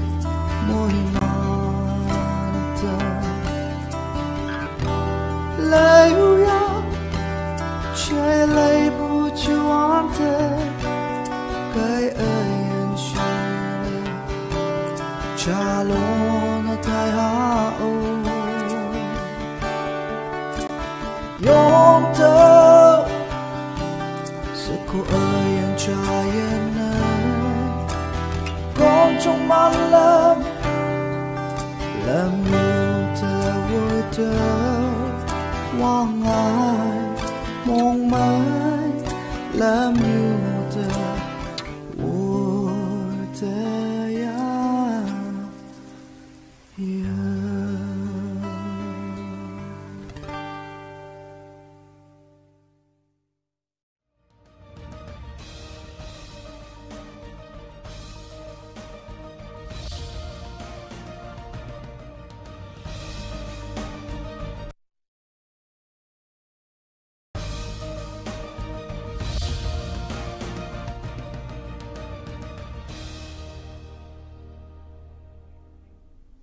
નમસ્તે દર્શક મિત્રો. સાંપ્રત ઘટના ઉપર આધારિત કાર્યક્રમ આપણા મુદ્દા આપણી વાતમાં હું નિશિત જોશી આપનું સ્વાગત કરું છું. દર્શક મિત્રો, જેમ મેં અગાઉ પણ એક એપિસોડમાં કીધું હતું કે જે કોરોના છે એ ફરીથી માથું ઉચકી રહ્યો છે. એનો સેકન્ડ વેવની શરૂઆત થઈ ચૂકી છે. ત્યારે આજે આપણે એ જ અનુસંધાનમાં ફરીથી વિગતે ચર્ચા કરીશું. આ વખતે આપણે જે ટાઇટલ રાખ્યું છે, કોરોનાના નવા સ્ટ્રેન અને તેની સમજ. આ સ્ટ્રેન એટલે શું? બીજો પણ એક શબ્દ આપ પરિચિત હશો વેરિયન્ટ જેને કહેવાય છે. વેરિયન્ટ એટલે શું? કદાચ તમે કોઈક જગ્યાએ વાંચ્યું હશે, કોઈક ટીવી ડિબેટ્સમાં જોયું હશે કે મ્યુટેશન શબ્દ વાપરવામાં આવે છે. તો આ મ્યુટેશન એટલે શું? આ તમામ જે અઘરા લાગતા શબ્દો છે, એને સરળ ભાષામાં અહીં સમજાવવાનો અમે અહીં પ્રયાસ કરીશું. આ ઉપરાંત આપને કોઈપણ પ્રકારના રસીકરણને લગતા કોઈ પણ પ્રશ્નો હોય કે કોરોના વાયરસના સ્ટ્રેનને લગતા પ્રશ્નો હોય એ તમામ વિશેની સમજ અહીં સરળ ભાષામાં અહીં આપને આપીશું અમે. આ માટે આપણી સાથે સ્ટુડિયોમાં બે મહેમાન ઉપસ્થિત છે. એમનો પરિચય મેળવી લઈએ. દર્શક મિત્રો આપણી સાથે સ્ટુડિયોમાં છે ઇન્ડિયન ઇન્સ્ટિટ્યૂટ ઓફ પબ્લિક હેલ્થના ડિરેક્ટર પ્રોફેસર ડૉક્ટર માવલંકરજી દિલીપ માવલંકર સાહેબ આપનું ખૂબ ખૂબ સ્વાગત છે. અને જે બીજા મહેમાન છે એ છે ડૉક્ટર યુવા વિજ્ઞાની ડૉક્ટર આલોક પટેલ. આલોકભાઈ આપનું પણ સ્વાગત છે. માવલંકર સાહેબ જેમ મેં ઇન્ટ્રોડક્શનમાં કીધું તો માથું ઉચકી રહ્યું છે કોરોના. ઓલરેડી સેકન્ડ વેવની શરૂઆત થઈ ચૂકી છે. શું કહેશો એના માટે આપ? હા. નિશિતભાઈ આપણને જાન્યુઆરી ફેબ્રુઆરીમાં એવું લાગતું હતું કે હવે કોરોના પતી ગયો. કારણ કે સપ્ટેમ્બરમાં જ્યાં લગભગ રોજના એક લાખ કેસો ભારતમાં આવતા હતા એની જગ્યાએ જાન્યુઆરીના અંતમાં ફેબ્રુઆરીની શરૂઆતમાં ઓછા થઈને લગભગ દસ હજારની આસપાસે આંકડો પહોંચી ગયો હતો. એટલે નેવું ટકા જેટલા કેસ ઓછા થઈ ગયા હતા. અને એ સાથે જાન્યુઆરી સોળમીથી રસીકરણ પણ ચાલુ થઈ ગયું હતું. ઘણી બધી હોસ્પિટલો જે કોવિડ માટે હતી એ પણ ખાલી થઈ ગઈ હતી. એટલે આપણને એવું એક લાગ્યું હતું કે હવે કોરોના ગયો ભારતમાં. અને ઘણી જગ્યાએ એવો એક વાતાવરણ ઊભું થયું. પણ ફેબ્રુઆરીના ત્રીજા અઠવાડિયાથી અને માર્ચમાં આપે જોયું હશે અને ન્યૂઝ મીડિયાએ બહુ જ સરસ રીતે એને હાઇલાઇટ કર્યું છે કે ઘણા ઝડપથી આ કોવિડના કેસ વધતા ગયા. દસ હજારમાંથી વીસ હજાર ત્રીસ હજાર ચાળીસ હજાર ને આજનો આંકડો તો એંશી હજાર ઉપર પહોંચી ગયો છે. અને ગુજરાતમાં બી છવ્વીસોની ઉપર પહોંચી ગયો હતો કે જે લગભગ ત્રણસોની આસપાસ પહોંચી ગયો હતો. જી. એટલે એ ચોક્કસ આ બીજું મોજું ગુજરાતમાં મહારાષ્ટ્રમાં ખાસ કરીને સૌથી વધારે પંજાબ કેરળા આંધ્રપ્રદેશ એવા દેશોમાં પ્રદેશોમાં ફેલાઈ રહ્યું છે. એટલે આપણે બહુ જ સચેત બનવાની જરૂર છે આ સમજવાની જરૂર છે કે કેમ આ મોજું ફેલાઈ રહ્યું છે. અને એને આપણે કઈ રીતે નાથી શકાય. બિલકુલ, ખૂબ સારી વાત કરી માવલંકર સાહેબ આપે. તો દર્શક મિત્રો, આપે જોયું તેમ માવલંકર સરે કીધું કે ખૂબ જ સચેત રહેવાની જરૂર છે, સાવધાની રાખવાની જરૂર છે, પણ ડરવાની જરૂર બિલકુલ નથી. અને આપને કોરોનાને લગતા કોઈ પણ પ્રકારના પ્રશ્નો તો આપના ટેલિવિઝન સ્ક્રીન ઉપર એક નંબર ફ્લેશ થઈ રહ્યો છે, બે છસો પંચ્યાસી આડત્રીસ ચૌદ અને બે છસો પંચ્યાસી આડત્રીસ સોળ. આપ આ નંબર ડાયલ કરીને પ્રશ્ન પૂછી શકો છો. ડૉક્ટર આલોક આપની પાસે આવવા માંગીશ કે જેમ મેં અગાઉ જે કીધું ઇન્ટ્રોડક્શનમાં કે મેં ઘણા બધા શબ્દોનો પ્રયોગ કર્યો. મ્યુટેશન છે સ્ટ્રેન્સ છે વેરિયન્ટ છે. હવે આપણે એક એક શબ્દને થોડોક વિગતે ચર્ચવાનો પ્રયત્ન કરીએ. પહેલી વાત આવે મ્યુટેશન તો મ્યુટેશન એટલે શું? મ્યુટેશન એટલે એક ટાઈપનો હું ફેરફાર કહી શકું. એ ફેરફાર એટલે આપણું જે હેરિડિટરી મટીરિયલ ખરું જેને આપણે કહીએ છીએ ડીએનએ એની અંદર અલગ અલગ ટાઈપના ન્યુક્લિયોટાઇડ્સ હોતા હોય છે જેમ કે એ ટી જી અને સી કહીએ. જી. એ એટીજીસીનો એક પર્ટિક્યુલર એક કોડ આપેલો હોય છે. જી આપ સ્ક્રીન ઉપર સમજાવી શકો છો? હું એ જોઉં છું. તમે જો એક ડીએનએ સ્ટ્રેન્ડ જોઈ રહ્યા છો ડાબી બાજુ જેની અંદર એડિનાઇન થાયમિન ગુઆનિન સાઇટોસિન આ બેઝિક ટાઈપના બધા બેઝિસ જે છે જે આપણા કોઈ પણ નોર્મલ હ્યુમન બીન અને કોઈ પણ લિવિંગ ઓર્ગેનિઝમની અંદર હોતું જ હોય છે. જમણી બાજુ તમે જોઈ શકો છો કે મેં ટ્રાન્ઝિશન અને ટ્રાન્સફર્શન્સ કરીને બે વસ્તુ મેં લખેલી છે. એટલે જ્યારે એક ઓરિજિનલ કોડમાં ચેન્જ આવે, જ્યારે એક ટી સીમાં તે ચેન્જ થાય કાં એક એ જીની અંદર ચેન્જ થાય, અથવા જ્યારે ટીનો ઇન્સ્ટ્રક્શન સેટ જે એ અને જીમાં ફેરફાર થાય, તો ત્યારે એક ડીએનએની અંદર કાં અથવા એમઆરએનએની અંદર ફેરફાર કાં અથવા મ્યુટેશન આવતો હોય છે. મ્યુટેશન રોજ થતો હોય છે, મ્યુટેશન આપણી અંદર થતો હોય છે, મ્યુટેશન વાયરસીસમાં પણ થાય છે. મ્યુટેશન મ્યુટેશન છે, ડિપેન્ડ કરે છે કે કોના માટે સારો છે અને કોના માટે ખરાબ છે. તમે એક મોટું ચાર્ટ જોઈ રહ્યા છો ઉપર કે જે દેખાડે છે કે અલ્ટિમેટ પ્રોડક્ટ ઓફ એની જીન જે આપણે કહીએ is is going to be protein તો પ્રોટીનના બેઝિક બિલ્ડિંગ બ્લોકને આપણે અમીનો એસિડ કહીએ છીએ. અમીનો એસિડ અલગ અલગ ટાઈપના પણ હોય છે, પણ એકચ્યુઅલી સિક્સટી વન ટાઈપના આપણી પાસે કોડોન હોય છે અને થ્રી સ્ટોપ કોડોન હોય છે, જે સ્ટોપ સિગ્નલ આપે પ્રોટીન બનાવવા માટે. આપણને એ વસ્તુ સમજવાની જરૂરત છે કે જ્યારે આપણે છાપામાં જોઈએ છે કે D six one four G કા E four four eight Q અલગ અલગ ટાઈપના કોડ જોતા હોઈએ છીએ, એ કોડ એકચ્યુઅલી આ અમીનો એસિડ લેવલે થતા હોય છે, નહીં કે ડીએનએ કે આરએનએ લેવલે થતા હોય છે. એટલે mutation is the change in the basic constituent of the hereditary material બિલકુલ. કોઈ ઓરિજિનલ સિક્વન્સમાં ફેરફાર ના થવો જોઈએ. જી બિલકુલ. ખૂબ વિગતે આપે અને સારી રીતે સમજણ પૂરી પાડી. દર્શક મિત્રો આપણે માવલંકર સાહેબને પૂછીશું. માવલંકર સાહેબ બીજી જે એક વાત છે કે સરકાર દ્વારા હમણાં એવું કહેવામાં આવ્યું કે કોવિશિલ્ડના જે ડોઝ છે એમાં પહેલો અને બીજા ડોઝ વચ્ચે આપે ચારથી છ અઠવાડિયાનું અંતર રાખવું જોઈએ. તો પ્રશ્ન એ થાય કે આવું કારણ કરવાનું શું? અને બીજું એ કે સપોઝ જેણે પહેલાં અગાઉ બે ડોઝ આ જાહેરાત પહેલાં લઈ લીધા છે, માની લો કે ત્રીસ દિવસની અંદર કે બત્રીસ દિવસની અંદર લીધા, તો એમને કોઈ પ્રશ્ન ઊભો થશે ખરો? નિશિતભાઈ, સરસ પ્રશ્ન છે. ઘણા બધાના મનમાં પ્રશ્ન આવે છે કે આવું પહેલાં જે અઠ્યાવીસ દિવસ અથવા એક મહિનાનું અંતર રાખવાનું વાત થઈ હતી અને એ પ્રમાણેની ઇન્સ્ટ્રક્શન્સ હતી અને હવે બે મહિનાનું અંતર રાખવાની વાત થઈ રહી છે, દોઢથી બે મહિના, તો એ કેમ થયું? હવે એ સમજવાની જરૂર છે કે આ જે રસીઓ થાય છે, તેના જે ટ્રાયલ્સ થાય છે, હ્યુમન ટ્રાયલ્સ લોકોમાં એનું જે પરીક્ષણ થાય છે, એનો એક પ્રોટોકોલ બનાવવામાં આવે છે, જે સરકારી સંસ્થાઓએ પાસ કરેલો હોય છે. એ ઓરિજિનલ ટ્રાયલમાં અઠ્યાવીસ દિવસનું અંતર એટલે એક મહિનાનું અંતર એ પ્રમાણે ટ્રાયલ કરવામાં આવી હતી જુદા જુદા દેશોમાં અને એના જે રિઝલ્ટ આવ્યા, એમાંથી સિત્તેર ટકા પ્રોટેક્શન એમાંથી જોવા મળ્યું. એ પછી આ જે ડેટા હતો એ પ્રિલિમિનરી ડેટા હતો. એટલે આ ટ્રાયલ હજુ પત્યા નથી. એનો પ્રિલિમિનરી જેને ઇન્ટરમીડિયેટ એનાલિસિસ કહે છે એ રીતનું હતું. એ પછી એ કંપનીઓએ જે જે રસીકરણ ચાલુ રહ્યું, ત્રીસથી ચાળીસ હજાર લોકોનું કરેલું, એના જુદા જુદા વિશ્લેષણ કર્યા. અને એમાં એ જોવામાં મળ્યું કે જેમણે ત્રીસ દિવસથી પછી વેક્સિન લીધી હતી ટ્રાયલમાં અને જેમણે દોઢ મહિના પછી છ અઠવાડિયા પછી અને જેમણે આઠ અઠવાડિયા અને બાર અઠવાડિયા સુધી મોડા લીધી હતી એમાં જોવામાં એવું મળ્યું કે જેમણે મોડા લીધી હતી એમને રસીનું પ્રોટેક્શન વધારે મળ્યું. જી. અને એનાથી રસી બનાવનારી કંપનીએ એ નક્કી કર્યું કે આ વધારે સારું પ્રોટેક્શન મળે છે આપણે વધારે અંતર રાખીએ. એ પછી ઇંગ્લેન્ડમાં જ્યાં શરૂઆત થઈ આ રસીની ત્યાં ઓલરેડી એમણે ત્રણ મહિનાનો અંતર રાખવાનું પહેલેથી નક્કી કર્યું હતું. અને પછી વર્લ્ડ હેલ્થ ઓર્ગેનાઇઝેશન ડબ્લ્યુએચઓએ પણ એ બધા ડેટા ફરી જોઈને નક્કી કર્યું કે આઠથી બાર અઠવાડિયા રાખવું એ હિતાવહ છે અને એનાથી સૌથી સારું પ્રોટેક્શન મળે છે. એટલે પહેલાં તમારા પ્રશ્નોનો આ ઉત્તર થયો. બીજો આપનો પ્રશ્ન હતો કે જેમણે પહેલાં લઈ લીધી એમનું શું? એ પણ એક પ્રશ્ન છે જ. એમને પ્રોટેક્શન નથી એવું બિલકુલ નથી. એમને પચાસથી સિત્તેર ટકા સુધી ચોક્કસ એનું પ્રોટેક્શન મળશે જ. પણ હવે જે નવો ડેટા આવ્યો છે એના પરથી એવું લાગે છે કે તમે છ થી આઠ અઠવાડિયા પછી લો તો એનું પ્રોટેક્શન વધારે સારું મળે છે. એ ઉપરાંત ઘણાને એવી બીક લાગે છે કે જો અમે મોડું લઈએ તો વચ્ચેનો જે ગાળો છે કે એક મહિનાથી ત્રણ મહિનાની વચ્ચેનો એમાં અમને રોગ થઈ જવાની શક્યતા વધારે રહે છે.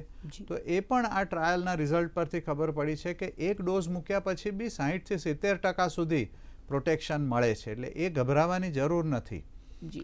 એટલે વધારે જેટલો ગાળો રાખો એટલું સારું. આઠ અઠવાડિયા ભારત સરકારે એનો આઈડિયલ અથવા ઓપ્ટિમલ કહ્યું છે. એટલે એ પ્રમાણે હવે આપણે કોવિશિલ્ડની રસીમાં કરવાનું છે. કોવેક્સિન જેને મળે છે એમણે તો હજુ એક મહિનાનું જ અંતર રાખવાનું છે. બરાબર છે. એક કોલર છે વિજયભાઈ કરીને એમની સાથે વાત કરીએ. હલો.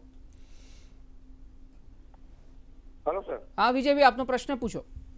આપણે ઇન્જેક્શન નહીં જ મુકાવે તો શું થાય એમ? આઈ એમ કે અમારું ફિફ્ટી યસ મારું. જી. એ એવું પૂછે છે કે રસી ના લઈએ ના લો તો તો શું થાય? જી. રસી ના લો તો જે પ્રમાણે બીજા બધાને કોવિડ કોરોના થવાની શક્યતા રહે છે એટલી શક્યતા તમને બી રહેશે. એટલે જે આપણે રસીથી પ્રોટેક્શન અથવા રસીથી રોગ ન થાય એનું જે રક્ષણ મળે છે નથી મળતું.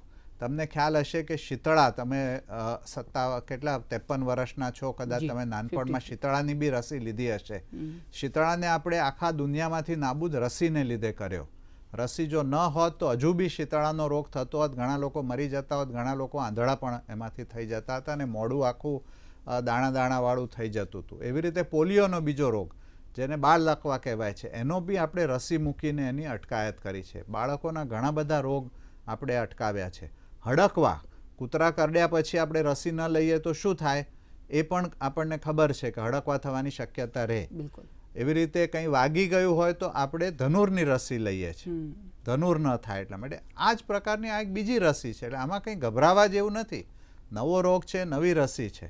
પણ રસીકરણનું વિજ્ઞાન એટલું બધું આગળ વધી ગયું છે કે આ બહુ જ સુરક્ષિત સેફ અને એમાંથી કંઈ જ ગભરાવાની જરૂર નથી. બિલકુલ. ડૉક્ટર આલોક આપની પાસે આવવા માંગીશ કે જે તમે એ વાત કરી પહેલાં તો મ્યુટેશનની વાત કરી તો એક નાનો જવાબ આપની પાસેથી અપેક્ષિત છે કે ખાલી કોરોનાના કેસમાં જ મ્યુટેશન થાય છે કે અન્ય વાયરસના કેસમાં પણ મ્યુટેશન થાય છે? ના ના અન્ય વાયરસના કેસીસમાં પણ મ્યુટેશન જોવા મળતા જ હોય છે. બિલકુલ. હવે આપણે વેરિયન્ટ્સની વાત કરીએ. તો વેરિયન્ટ્સ એટલે શું? ઓકે. તો સૌથી પહેલાં આ બહુ સારો પ્રશ્ન પૂછ્યો. છેલ્લા એક વર્ષથી લોકો આઇસોલેન્ટ વેરિયન્ટ સ્ટ્રેન્સ આ બધામાં ગૂંચવાઈ ગયા બેઝિકલી હું હું સૌથી પહેલાં આઇસોલેટથી સ્ટાર્ટ કરીશ. જ્યારે પણ કોઈ પેશન્ટને કાં કોઈ હોસ્ટને ઇન્ફેક્શન થયું હોય સાયન્ટિસ્ટ કાં કોઈ ડૉક્ટર એમાંથી જ્યારે એ વાયરસ આઇસોલેટ કરીને એને લેબમાં પ્રોપોગેટ કરતો હોય એને આઇસોલેટ કહેવાય. જ્યારે એ આઇસોલેટ એટલે that is considered as the reference genome જેની અંદર આ એની પહેલાંનું કોઈ ડેટા જ નથી આપણી પાસે. એના પછીના જેટલા બધા વેરિયન્ટ જે ડેટા આપણી પાસે આવ્યો છે એ બધા વેરિયન્ટ કહેવાય. એ વેરિયન્ટ સ્ટ્રેનમાં ક્યારે કન્વર્ટ થાય that is dependent upon k જ્યારે એની તમે ફિનોટાઇપિક પ્રોપર્ટીઝ જોતા હો કાં ઇમ્યુનોલોજીકલ પ્રોપર્ટીઝ કાં ડિઝીઝ ટ્રાન્સમિશન. ડિઝીઝ સિવિરેબિલિટી આ બધી પ્રોપર્ટીઝ તમે જ્યારે જોવાનું સ્ટાર્ટ કરો ત્યારે એનું it will be converted as a strain and it will not be considered as a variant basically એટલે એમાં પણ વેરિયન્ટ પણ ત્રણ પણ ટાઈપના છે. એટલે variant of under variant of unknown significance આ તમે જોઈ રહ્યા છો કે બેઝિકલી કે આ મ્યુટેશન્સ કઈ રીતના થતા હોય છે. મ્યુટેશન્સ તમે બેઝિકલી જોવો છો કે મેં લખ્યું છે કે ધ ફેટ કેટ સેટ એક નોર્મલ ટાઈપનો કોડ છે જે આપણને બધાને ખબર પડે છે. જ્યારે તમે એ કોડની અંદર કંઈક વસ્તુ એક ડિલીટ કરી નાખો છો મેં એફ ડિલીટ કરી નાખ્યો એટલે આગળનો ધ જતો રહ્યો અને એટીસી એટલે આ કોડ મને ખબર જ નથી પડી રહી. નોનસેન્સ મ્યુટેશનમાં એ રીતનું થાય છે કે ધ ફેટ ખબર છે પણ આગળના જે સિગ્નલ્સ આપણી પાસે હોવા જોઈએ એ કમ્પ્લીટલી લોસ થઈ જાય છે. એટલે અને ટેકનિકલી જે પ્રોટીન આખું બનવું જોઈએ, એ એ જગ્યાએ ટ્રંકેટ થઈને સ્ટોપ થઈ જતું હોય છે. બીજું આવે છે ઇન્સર્શન એટલે મારે ન જોતો મેં એક શબ્દ, હજુ એક એક લેટર મેં એની અંદર, એક સેન્ટેન્સની અંદર લખી નાખ્યું, એટલે ફરીથી આખો ઇન્સ્ટ્રક્શન કોડ ચેન્જ થઈ ગયો. બેઝિકલી મારા બોડી કે મારા સેલને એ ટાઈપની રેકગ્નિશન પેટર્ન જ નથી, જેથી હું આઈડેન્ટિફાઈ કરું કે આ વસ્તુથી મારે શું કરવાનું છે. એટલે ઘણીવાર અનગિનત સેલ પ્રોપોગેશન વધે, ડિઝીઝ સિવિરેબિલિટી વધે અને અલગ અલગ ટાઈપની વસ્તુઓ ઇન્કોપરેટ થતી હોય છે, જેની that will post the challenge to vaccination as well as to our immune system basically એટલે ઘણીવાર ઘણા ચેન્જીસ એવા થતા હોય છે which is what is a synonymous synonymous એટલે તમે એક ચેન્જ લાવો, પણ એનાથી કોઈ ફરક નથી પડવાનો. અલ્ટિમેટ મારે જે સિગ્નલ રીડ કરવાનું છે બોડીને એમાં. નોન સિનોનિમસની અંદર ઓબ્વિયસલી જ્યારે આખો આખો આખો કોડ ચેન્જ થઈ જાય છે સ્ટોપની અંદર તો જે આખું પ્રોટીન બનવાનું હોય એની બદલે અડધું પ્રોટીન કા બે ત્રણ અમીનો એસિડવાળું જ પ્રોટીન બનતું હોય છે. અને જ્યારે હકીકતમાં જ્યારે સ્ટોપ થવું જોઈએ એની બદલે આખું રીડ થતું થતું હોય છે. એટલે આવા બધા ક્રુશિયલ ચેન્જીસના કારણે બેઝિકલી હું નેક્સ્ટ સ્લાઇડ દેખાડવા માંગુ છું. નેક્સ્ટ સ્લાઇડ આપ પ્રોડ્યુસર સાહેબને વિનંતી કરીશ કે બતાવે. નેક્સ્ટ સ્લાઇડમાં હા નેક્સ્ટ સ્લાઇડ તમે જોઈ રહ્યા છો એ ગીસ એટ ડેટા નોટ સૌથી પહેલાં. ડાબી બાજુ નીચે તમે જોશો નાઇન્ટીન બી કરીને એક અક્ષર લખેલો છે એક ઓરેન્જ કલરનું ડોટ દેખાય છે એ સૌથી પહેલાં સર્વપ્રથમ આઇસોલેટ છે અને આના પછીના તમે જેટલા ડોટ્સ જોઈ રહ્યા છો એ બધા જ એના અલગ અલગ ટાઈપના વેરિયન્ટ છે. હજુ સુધી કુલ ત્રણ લાખ પચાસ હજાર સિક્વન્સીસ ગીસ એડની અંદર સબમિટ થવામાં આવી છે.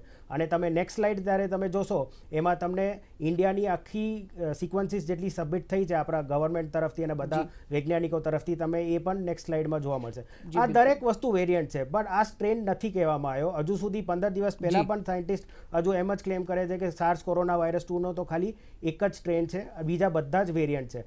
જ્યારે ખરેખર હોસ્પિટાલિટી રેટ વધે ડાયગ્નોસિસનું આરટીપીસીઆરથી જે આપણે ડિટેક્શન કરતા હોઈએ એ વસ્તુ ઓછી થઈ જાય કાં એસ્કેપ થતું હોય વેક્સિનની જે ન્યુટ્રલાઇઝેશન એસેસ છે એ ઘટતા જાય એનો મતલબ એ ડિઝીઝ એ પર્ટિક્યુલર જે ચેન્જ મેં તમને આગળ દેખાડ્યા ફેટ કેટ સેટના એ બધા changes is affecting the virus to escape the immune system basically એટલે એ સ્ટ્રેન હજુ નથી કહેવામાં આવ્યો. It is still a variant severability વધે ત્યારે જ એ સ્ટ્રેન તરીકે ગણાશે. અને આપણે તમારી જેવા માણસો એને લખીને ના કહી દઈએ કે સ્ટ્રેન છે.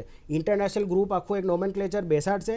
એ લોકો ડિસિઝન લેશે અને કહેશે કે હા ભાઈ, આ સ્ટ્રેન ગણવામાં આવશે તો જ એને સ્ટ્રેન તરીકે ગણાશે. તો આપે વેરિયન્ટ એટલે શું અને સ્ટ્રેન એટલે શું? એનો એક ભેદરેખા આપે દર્શક મિત્રોને આપે Yes. જણાવી જે બિલકુલ એની આપણે ચર્ચા ચાલુ રાખશું પણ અત્યારે સમય વિરામનો છે.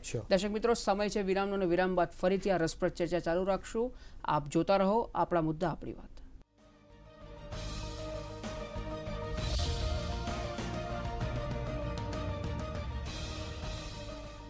વિરામ બાદ આપનું સ્વાગત છે. તો ડૉક્ટર આલોક જે રીતે બ્રેક પહેલાં વાત કરી તમે વેરિયન્ટ્સ અને સ્ટ્રેનની સ્ટ્રેનમાં અત્યારે નોર્મલી એવું કહેવાય છે કે ત્રણ મુખ્ય સ્ટ્રેન છે. જે. એક આફ્રિકન સ્ટ્રેન છે એક બ્રાઝિલ સ્ટ્રેન છે અને એક બ્રિટન સ્ટ્રેન છે યુકે. તો હવે આ કેવું છે ને એમાં કદાચ બેમાં આ દવા કેટલી જે રસી છે એ કેટલી અક્ષીર છે કદાચ જે સાઉથ આફ્રિકાનો જે સ્ટ્રેન છે એમાં કદાચ કામ હજુ એની અંદર આર એન્ડ ચાલી રહ્યું છે. સાઉથ? આફ્રિકનમાં એસ્ટ્રાઝેનેકાની હજુ ચાલી રહી છે આપણને મળે છે. એમાં ન્યુટ્રલાઇઝેશનમાં એટલો ડિફરન્ટ થોડુંક ડાઉન ગયું છે પણ એટલું સિગ્નિફિકન્ટલી ડાઉન નથી ગયું. બરાબર. એઝ ફાર એઝ એનું આઉટપુટ ગણાય ત્યાં સુધી. બાકી પી વન માનોસ વેરિયન્ટ છે એટલે બેઝિકલી મેં પહેલાં એટલે આમાં તો પ્રમાણ મળ્યા છે આમાં એવિડન્સ છે એટલે એને વેરિયન્ટ ઓફ કન્સર્ન ગણાય છે. નોર્મલ મ્યુટેશન્સ જે જોવા મળ્યા છે એ D six one four G જે પહેલેથી ગયા વર્ષે હતા પણ આ વર્ષે in addition N five zero one Y કરીને એની અંદર આવ્યા છે. પછી બીજા ઈ ફોર ફોર એટ કે કરીને સિરીઝ આવી છે. અને બીજું L four five two R છે. અને બીજા કેલિફોર્નિયાના બે પણ છે જે અહીંયા એ ટાઈપના મ્યુટેશન જોવામાં મળ્યા છે. બરાબર બેઝિકલી એટલે હમણાં જ રિસેન્ટલી આઈસીએમઆરે પણ બે ડબલ મ્યુટન્ટનું જાહેરાત કરી છે લાસ્ટ વીક જ. એ એની આપણે ચર્ચા કરીશું. માવલંકર સાહેબ આપની પાસે આવવા માંગીશ કે જે ઇમ્યુનોલોજીકલ રિસ્પોન્સની વાત છે તો એ જે અભ્યાસ થયો તાજેતરમાં એના વિશે જો આપ થોડી વાત કરી શકતા હો તો. એટલે ઇમ્યુનોલોજીકલ રિસ્પોન્સ એટલે શું છે કે આ વાયરસ જે વખતે શરીરમાં જાય છે આપણે તો એ આપણા શરીરમાં એન્ટીબોડીઝ અથવા વાયરસ સામે લડવાની શક્તિ તૈયાર કરે છે. અને એનાથી આપણું શરીર વાયરસ સામે લડીને વાયરસને માત આપે છે.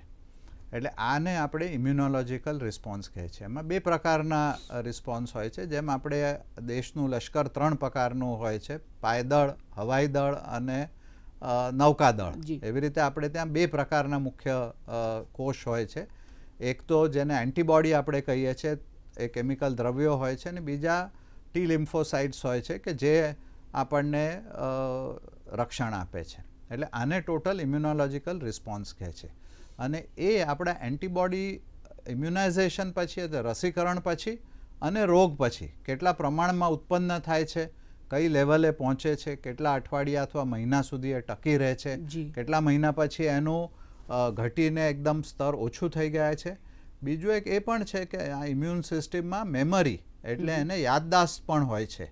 એટલે ઘણા જે નાનપણમાં આપણને રોગ થયા હોય અથવા નાનપણમાં રસી લીધી હોય એનું કદાચ આપણામાં એન્ટીબોડી ન હોય. પણ એવી આપણે એમાં ઇમ્યુનોલોજીકલ મેમરી અથવા યાદદાસ્ત હોય છે કે જે ફરી એ રોગ આવે તો એની સામે તરત લશ્કર તૈયાર કરીને એન્ટીબોડી તૈયાર કરીને આપણે લડી શકીએ છીએ. એટલે આને આપણે ઇમ્યુનોલોજીકલ તો સર તમે જે એન્ટીબોડીની વાત કરી હવે સપોઝ મને કોરોના થયો છે અને માની લો કે નવેમ્બર મહિનામાં કોરોના થયો તો હવે મારા શરીરમાં એક એન્ટીબોડી ઊભા થઈ ગયા ત્યાર પછી તો એ કેટલા સમય સુધી ટકી શકે મારા શરીરમાં? એવી કોઈ કેલ્ક્યુલેશન અથવા રિસર્ચ થયું છે એવું? હા હા. હમણાં જ આ રિસર્ચ થઈ રહ્યા છે. સામાન્ય રીતે જે આપણે ત્યાં જોવા મળ્યું છે ઇવન અમદાવાદમાં જે સીરો સર્વેલન્સ થયા છે એમાં ખબર પડી છે કે લગભગ ચારેક મહિનામાં ત્રીસ ટકા લોકોના એન્ટીબોડી જતા રહે છે. બાકી બધા પાસે હોય છે. છેલ્લે હમણાં એક એવો રિસર્ચ આવ્યો છે કે ઇટાલીમાં જ્યાં ચાઇના પછી સૌથી પહેલો આ ફેબ્રુઆરી જાન્યુઆરીમાં કેસ થયા ત્યાં હજુ સુધી અમુક લોકોમાં એન્ટીબોડી બનેલા અને છે. અને એ પછી બી જે સાર્સ કોવિડ વન હતો જેને હવે લગભગ સત્તર વર્ષ થયા તો અમુક લોકોમાં જ્યાં ત્યાં ઇન્ફેક્શન થયું હતું ચાઇનામાં એના બાદ મેમરી સેલ્સ હજુ પણ છે અને એ એન્ટીબોડી તૈયાર કરી શકે એવું છે બિલકુલ એટલે એકાદ વર્ષ છ આઠ મહિનાથી એક વર્ષ સુધી તો ચોક્કસ પ્રોટેક્શન મળે પણ એ સવાલ એવો પણ છે કે આપણે જેમને રોગ થઈ ગયો છે એને રસી લેવી કે નહીં બરાબર કદાચ તમે પૂછવાના છો એટલે. પહેલા કહી દઉં. કે એક મહિનાથી ત્રણ મહિના સુધીનું અંતર રાખવું. સૌથી સેફ છે. ત્રણ મહિના પછી ચોક્કસ એ લોકો જેને રોગ થયો છે એને રસી લેવી જ જોઈએ. જી બિલકુલ. ખૂબ સારી વાત કરી. એક કોલર આપણી સાથે જોડાયા છે ગીર સોમનાથથી. એમની સાથે વાત કરીએ. હલો હાલો હા આપનો પ્રશ્ન જણાવો. હા મારો પ્રશ્ન એ છે સર હમ. કે જે કાંઈ પણ આપણે ટૂંકમાં ગામડે રસીકરણ માટે સ્ટાફ આવે છે બરોબર? જી. હા તો એમાં પબ્લિક પેલા તો ડરે છે શા માટે? બરાબર છે. અને બીજું એક કે જે લોકો ડોઝ લે છે ટૂંકમાં રસી તો એ લોકોને શા માટે કોઈ એમ કે તાવ આવી જાય ને અમુક ટૂંકમાં એમ કહે છે કે ડાયનેરિયા. ને આ માટે જે પબ્લિક બીવે છે તો એના માટે કંઈક થોડુંક એવું જાગૃત અભિયાન કરો કે જેથી કરીને દરેક વ્યક્તિ આનો લાભ લે. જી સર. સરસ સર. બહુ સરસ વાત કરી. આ સૌથી અગત્યનો હમણાંનો સવાલ છે કે લોકો આ રસીથી બીએ છે કેમ? પહેલું તો એ કારણ છે કે આ રસી બહુ ઝડપથી તૈયાર કરવામાં આવી છે એટલે આપણા સોશિયલ મીડિયા જે છે, વોટ્સએપ છે, બીજા બધામાં જાત જાતની વાતો મૂકવામાં આવી કે આ રસી તૈયાર કરવામાં કંઈક ખોટ રહી ગઈ હશે કે બહુ ઝડપથી આ રસી તૈયાર થઈ ગઈ છે. એટલે એક વસ્તુ સમજી લેવાની છે કે આમાં કોઈ પ્રકારની ખોટ રાખવામાં આવી નથી. ઝડપ ચોક્કસ થઈ છે. એક વર્ષની અંદર પહેલી વખત આ રસી આવી પેદા થઈ છે. પણ બધા જ સાયન્ટિફિક એટલે વૈજ્ઞાનિક પરિમાણોને ચકાસીને ધ્યાનમાં રાખીને એની સેફટીને ધ્યાનમાં રાખીને સુરક્ષિતતાને ધ્યાનમાં રાખીને રસી બનાવવામાં આવી છે. એટલે એ ભય કાઢી નાખવા જેવો છે. બીજું આપે પૂછ્યું કે તાવ આવે છે. તો કોઈ પણ રસી મૂકીએ નાના બાળકોને બી તમે રસી મુકાવી હશો તો બે ત્રણ દિવસ કદાચ રડતા હોય છે એમને થોડો તાવ આવી જાય છે. એક નોર્મલ રિએક્શન છે. બોડીમાં જેમ આ જંતુઓ આપણે દાખલ કરીએ છીએ જંતુઓ તો એનાથી એને એક રિએક્શન આવે છે જેનાથી આ રસીને અસરકારકતા પણ દેખાય છે. એટલે એનાથી પણ ગભરાવાની કોઈ જરૂર નથી. મારું કે બીજું જે શરૂઆતના ફેઝમાં એવું હતું કે જે સંક્રમણ હતું એ ધીમી ગતિએ થતું હતું અત્યારે એકદમ ઝડપથી થયું છે સેકન્ડ વેવમાં તો આનું કારણ આપણી દ્રષ્ટિએ શું હોઈ શકે? આ એક બહુ પેચીદો પ્રશ્ન છે કે આ વખતે ફરી વખત થયું તે વખતે કેમ ઝડપથી થઈ રહ્યું છે? પહેલું તો આપણે પહેલાં જ સૌથી શરૂઆતમાં લોકડાઉન બે મહિના સુધી આપણે રાખ્યું. એટલે એ રોગ જે માર્ચમાં શરૂ થયો તો એ મે સુધી તો બહુ જ ઓછા કેસ થયા કારણ કે લોકડાઉન હતું. બરાબર એ પછી બી લોકો ઘણા ગભરાઈ ગયા હતા અને લોકો એકબીજા સાથે હળતા મળતા નહોતા. જાત જાતના રિસ્ટ્રિક્શન્સ અને નીતિ નિયમો હતા. એટલે પણ રોગ કદાચ ઝડપથી ના ફેલાયો. બરાબર હવે આ બધું જ ઘણું બધું ઓછું થઈ ગયું છે. લોકોમાંથી બીક જતી રહી છે. લોકોના મેળાવડા થયા છે જાત જાતના લગ્નો મોટા પાયે કાર્યક્રમો થયા છે. એ બધા કારણથી અને કદાચ આજે આલોકભાઈએ કહ્યું કે જુદા જુદા વેરિયન્ટ પણ ભારતમાં દેખાવા માંડ્યા છે. પણ વન ઓફ ધ એનું પણ કારણ હોઈ શકે કે આ ઝડપથી રોગ વધી રહ્યો છે. તો પછી બીજો જે પ્રશ્ન છે કે લોકો અલગ અલગ સિમ્ટમ્સ અનુભવી રહ્યા છે આના. તો આ વાત સાચી છે? હા હા. એક ત્રીજું કારણ કહી દઉં કહેવાનું રહી ગયું આગળ કે આ વખતે ટેસ્ટિંગ પણ વધારે છે. તમે એપ્રિલ મે જૂનમાં ટેસ્ટિંગના આંકડા જુઓ તો બહુ જ ઓછા હતા કારણ કે ટેસ્ટ બહુ મોંઘા હતા. ટેસ્ટ બહુ ઓછા થતા હતા. ઘણીવાર તો એવું હતું કે હોસ્પિટલમાં દાખલ કરીને ટેસ્ટ કરવા પડતા હતા. એટલે આંકડા ઓછા હતા. હવે જ્યાં તંબુઓ લગાડીને ટેસ્ટ થાય છે કોઈ પણ કોઈ પ્રિસ્ક્રિપ્શન સિવાય પણ ટેસ્ટ થઈ શકે છે. આવતા જનારા લોકો માટે પણ ટેસ્ટ થાય છે. એટલા એને લીધે પણ આંકડા બહુ ઝડપથી બહાર આવી રહ્યા છે. કેસ તો થઈ જ રહ્યા છે પણ એ પણ એક કારણ ખૂબ સારી વાત છે. બીજો આપે શું સવાલ પૂછ્યો? મેં કીધું કે જે લોકો અલગ અલગ સિમ્ટમ્સ અનુભવી રહ્યા છે તો એ શું વાત સાચી છે? હા એ પણ નવા નવા સિમ્ટમ્સ આવી રહ્યા છે. જેમ જેમ રોગ ફેલાય છે એમ આપણને વધારે ખ્યાલ આવે છે કે એના કયા કયા સિમ્ટમ્સ હોઈ શકે. બરાબર અને હવે એવું દેખાય છે કે સામાન્ય જે ખાંસી ઉધરસ તાવ એ જે હતું અને સ્વાદ જતો રહ્યો ગંધ જતી રહેવી એ ઉપરાંત આંખની બીમારી ચામડીની બીમારી ઝાડા એવા જુદા જુદા લક્ષણો પણ એમાંથી દેખાઈ રહ્યા છે. ઉલટી પણ આઈ થિંક હા ઉલટી એટલે પેટના ગડબડ ઉલટી ઝાડા એવું પણ.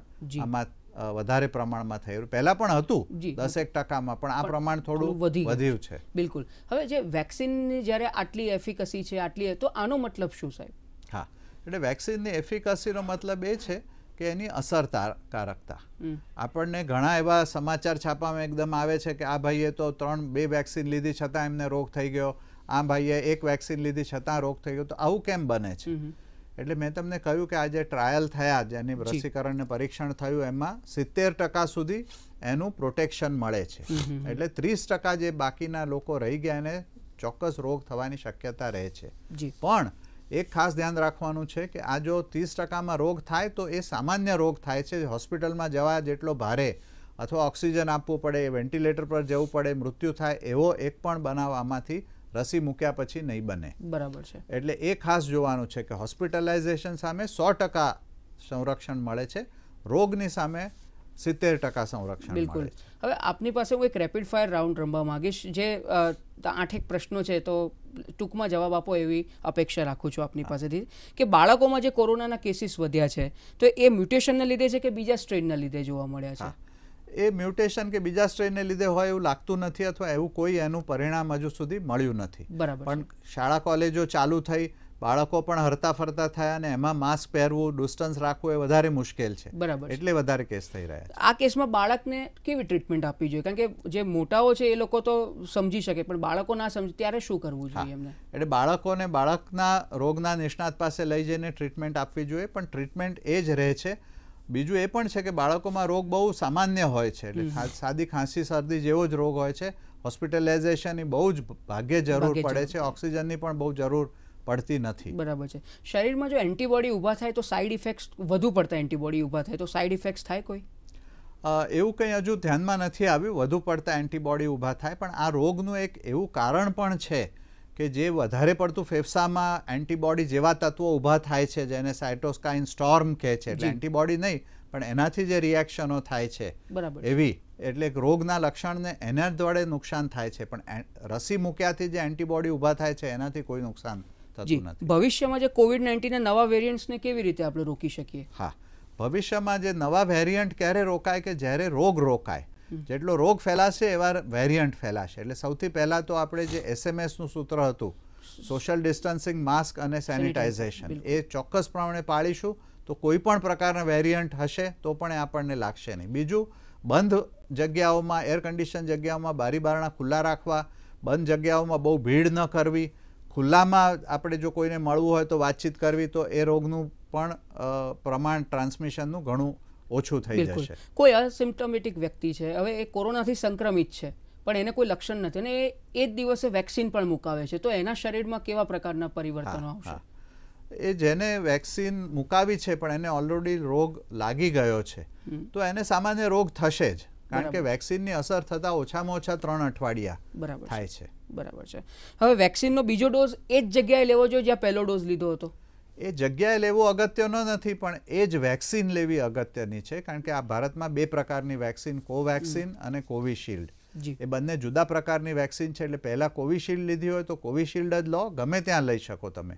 અમારા એક મિત્ર છે દિલ્હી જ હતા એમણે દિલ્હી અમદાવાદમાં પહેલી લીધી બીજી દિલ્હીમાં લીધી. એમાં કોઈ ફેર નથી. બિલકુલ. પણ જે પહેલા પ્રકારની લીધી હોય જે કંપનીની અને પ્રકારની એ જ કંપનીની. ફરી લેવી જોઈએ. બિલકુલ. ખૂબ સારી વાત કરી. આપને એક છેલ્લો પ્રશ્ન પૂછવા માંગી જેમ આઈસીએમઆરે ડબલ મ્યુટેશનની વાત કરી તો શું- શોર્ટમાં આપ શું કહેશો એના વિશે? હા એટલે એમાં બે ટાઈપ ડબલ મ્યુટેશનના દરેક ટાઈપના વેરિયન્ટમાં થતા હોય છે. કંઈ નવી વસ્તુ નથી. પણ આ ટાઈપના વેરિયન્ટ એ રીતે જોવા મળે છે દેટ ઇઝ ઇન્ક્રીઝ જે એન્ટીબોડીની સર સાહેબે વાત કરી એ એસ્કેપ થાય છે. આ ટાઈપનું મ્યુટેશન એ છે. એનો મતલબ રોગ પ્રતિકારક શક્તિ તમારી એમાં ઘટી રહી છે.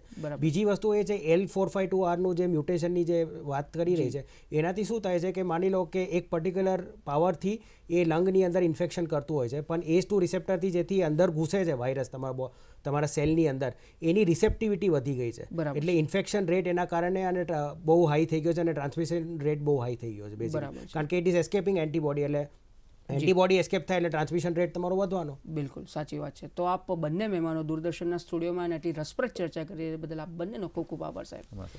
તો દર્શક મિત્રો આપે જોયું તે રીતે કે રસી પણ આવી ગઈ છે સાવચેત રાખવાની છે સાવધાની રાખવાની છે પણ ડરવાનું નથી. અને એટલા માટે જ એસએમએસનું જે માવલંકર સાહેબે સૂત્ર આપ્યું છે અને જે હું પણ કહેતો હોઉં છું સેનિટાઇઝેશન માસ્ક અને સોશિયલ ડિસ્ટન્સ એનું પાલન કરીએ. અને આપણે કોરોનાથી અને સરકારની માર્ગદર્શિકાનું જે કોરોનાની આપેલી છે એનું પાલન કરીએ તો અવશ્ય આપણે ઘણા ખરા અંશે બચી શકીશું આ વિચાર સાથે જ અત્યારે બસ આટલું જ આવતા મંગળવારે ફરીથી એક નવા વિષય સાથે એક નવા મહેમાન સાથે ઉપસ્થિત થઈશું ત્યાં સુધી અમને રજા આપશો નમસ્કાર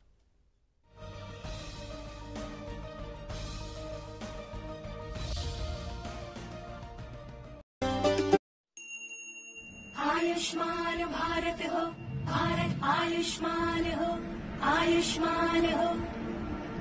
भारत को आयुष्मान बनाने, जन जन को आरोग्य बनाने,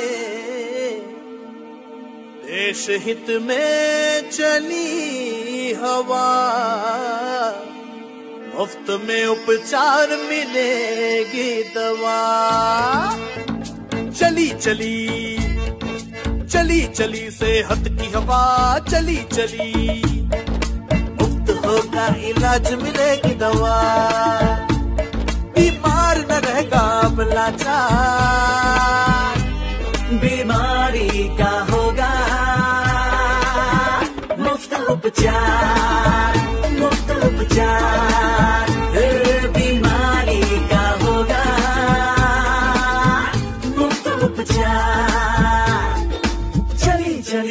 सेहत की हवा, चली चली।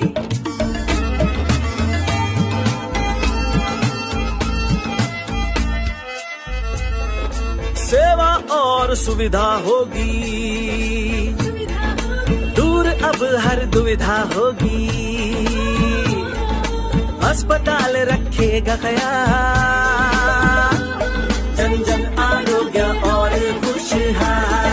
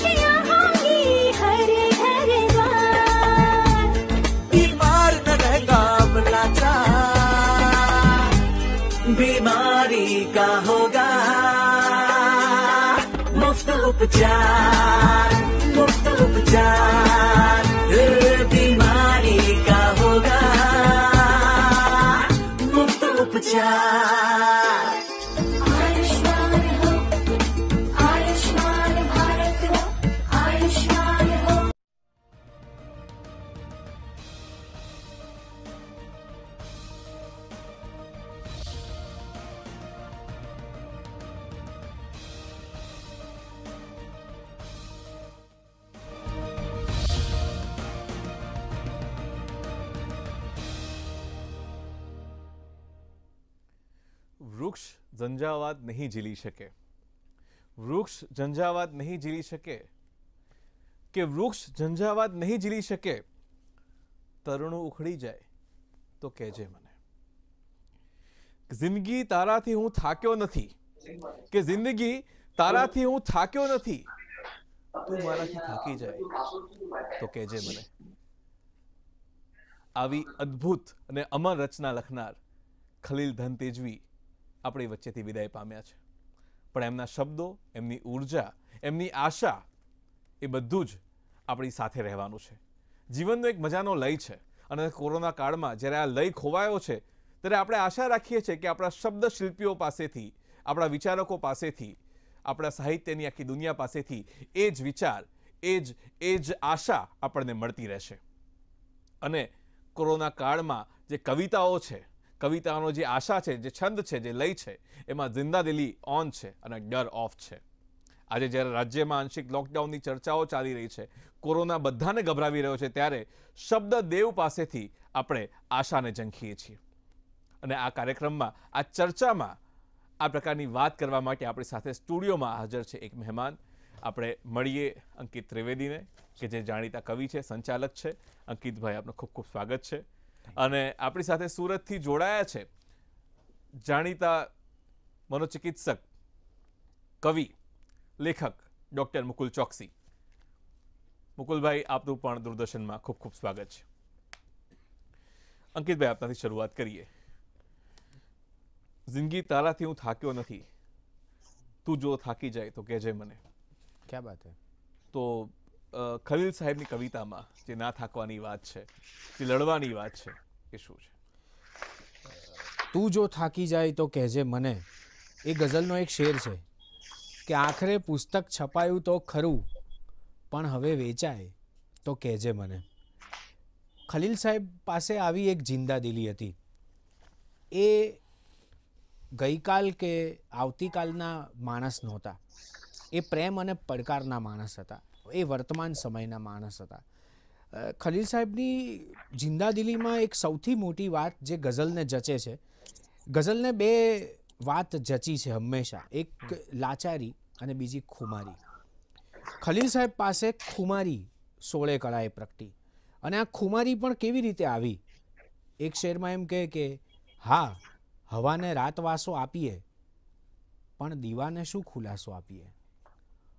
તો આવી જિંદાદિલીના શાયર એ ખલીલ ધનતેજવી છે. તો જિંદા દિલ્હીના શાયર ખલીદ ધનતેજવી છે ને એમણે પોતે લખ્યું છે કે કોઈના પગલામાં ડગ ભરતો નથી. કે કોઈના પગલામાં ડગ ભરતો નથી. તમે કહ્યું ને કે પોતાને પણ વર્તમાનના માણસ છે. હું મને ખુદને અનુસરતો નથી. અને આપણે પોતાને પણ અનુસરીએ નહીં એવું ડૉક્ટર મુકુલ ચોકસી આપને પૂછવા માંગીશ કે જે વિવિધતા જે આવતી હતી કોરોના કાળમાં, આપ તો મનોચિકિત્સક છો, આપ લેખક છો, કવિ છો.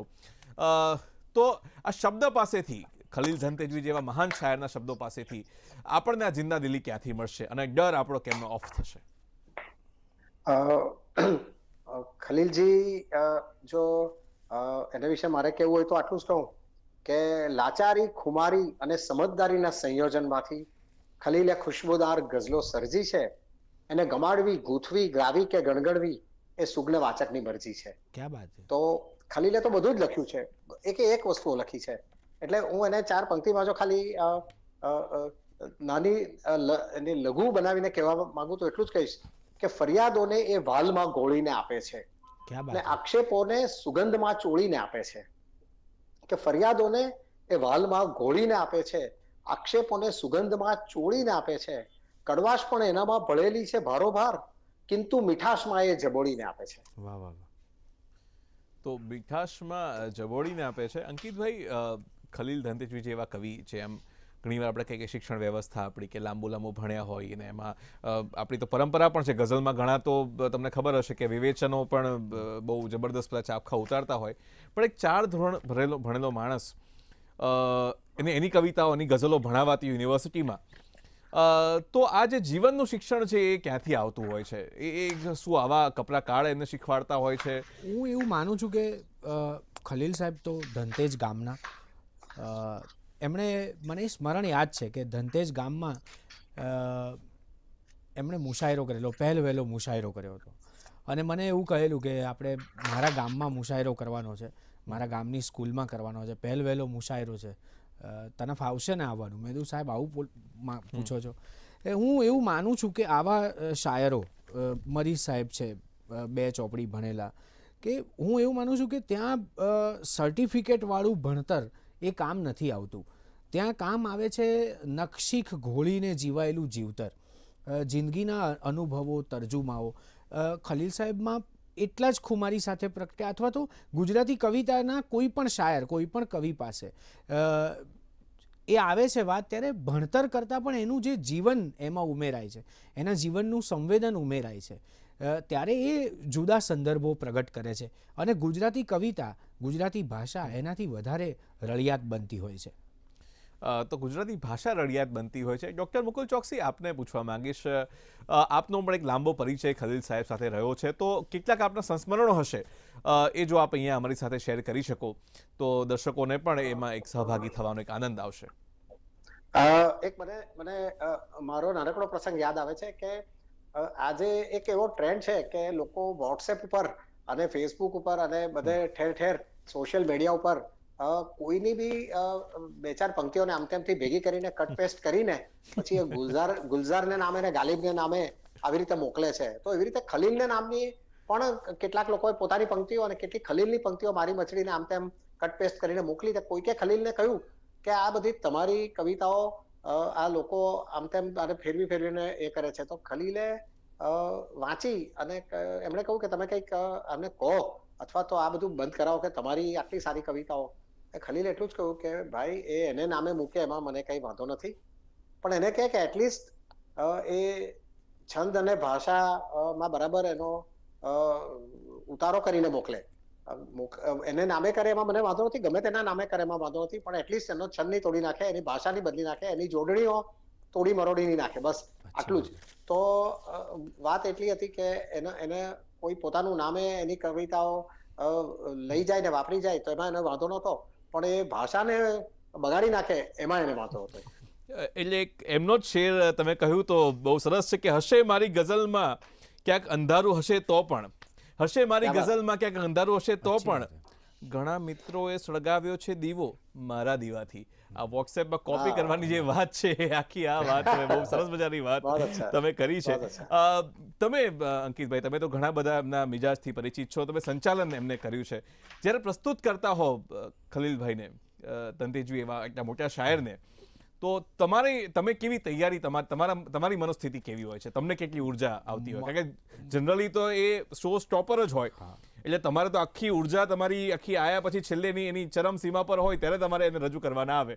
તો શું તમારા મુશાયરાના અનુભવો છે? હું મારા અનુભવ એવા છે મુકુલ ચોકસી એગ્રી થશે કે એક તો મીરે મુશાયરા ખલીલ સાહેબ.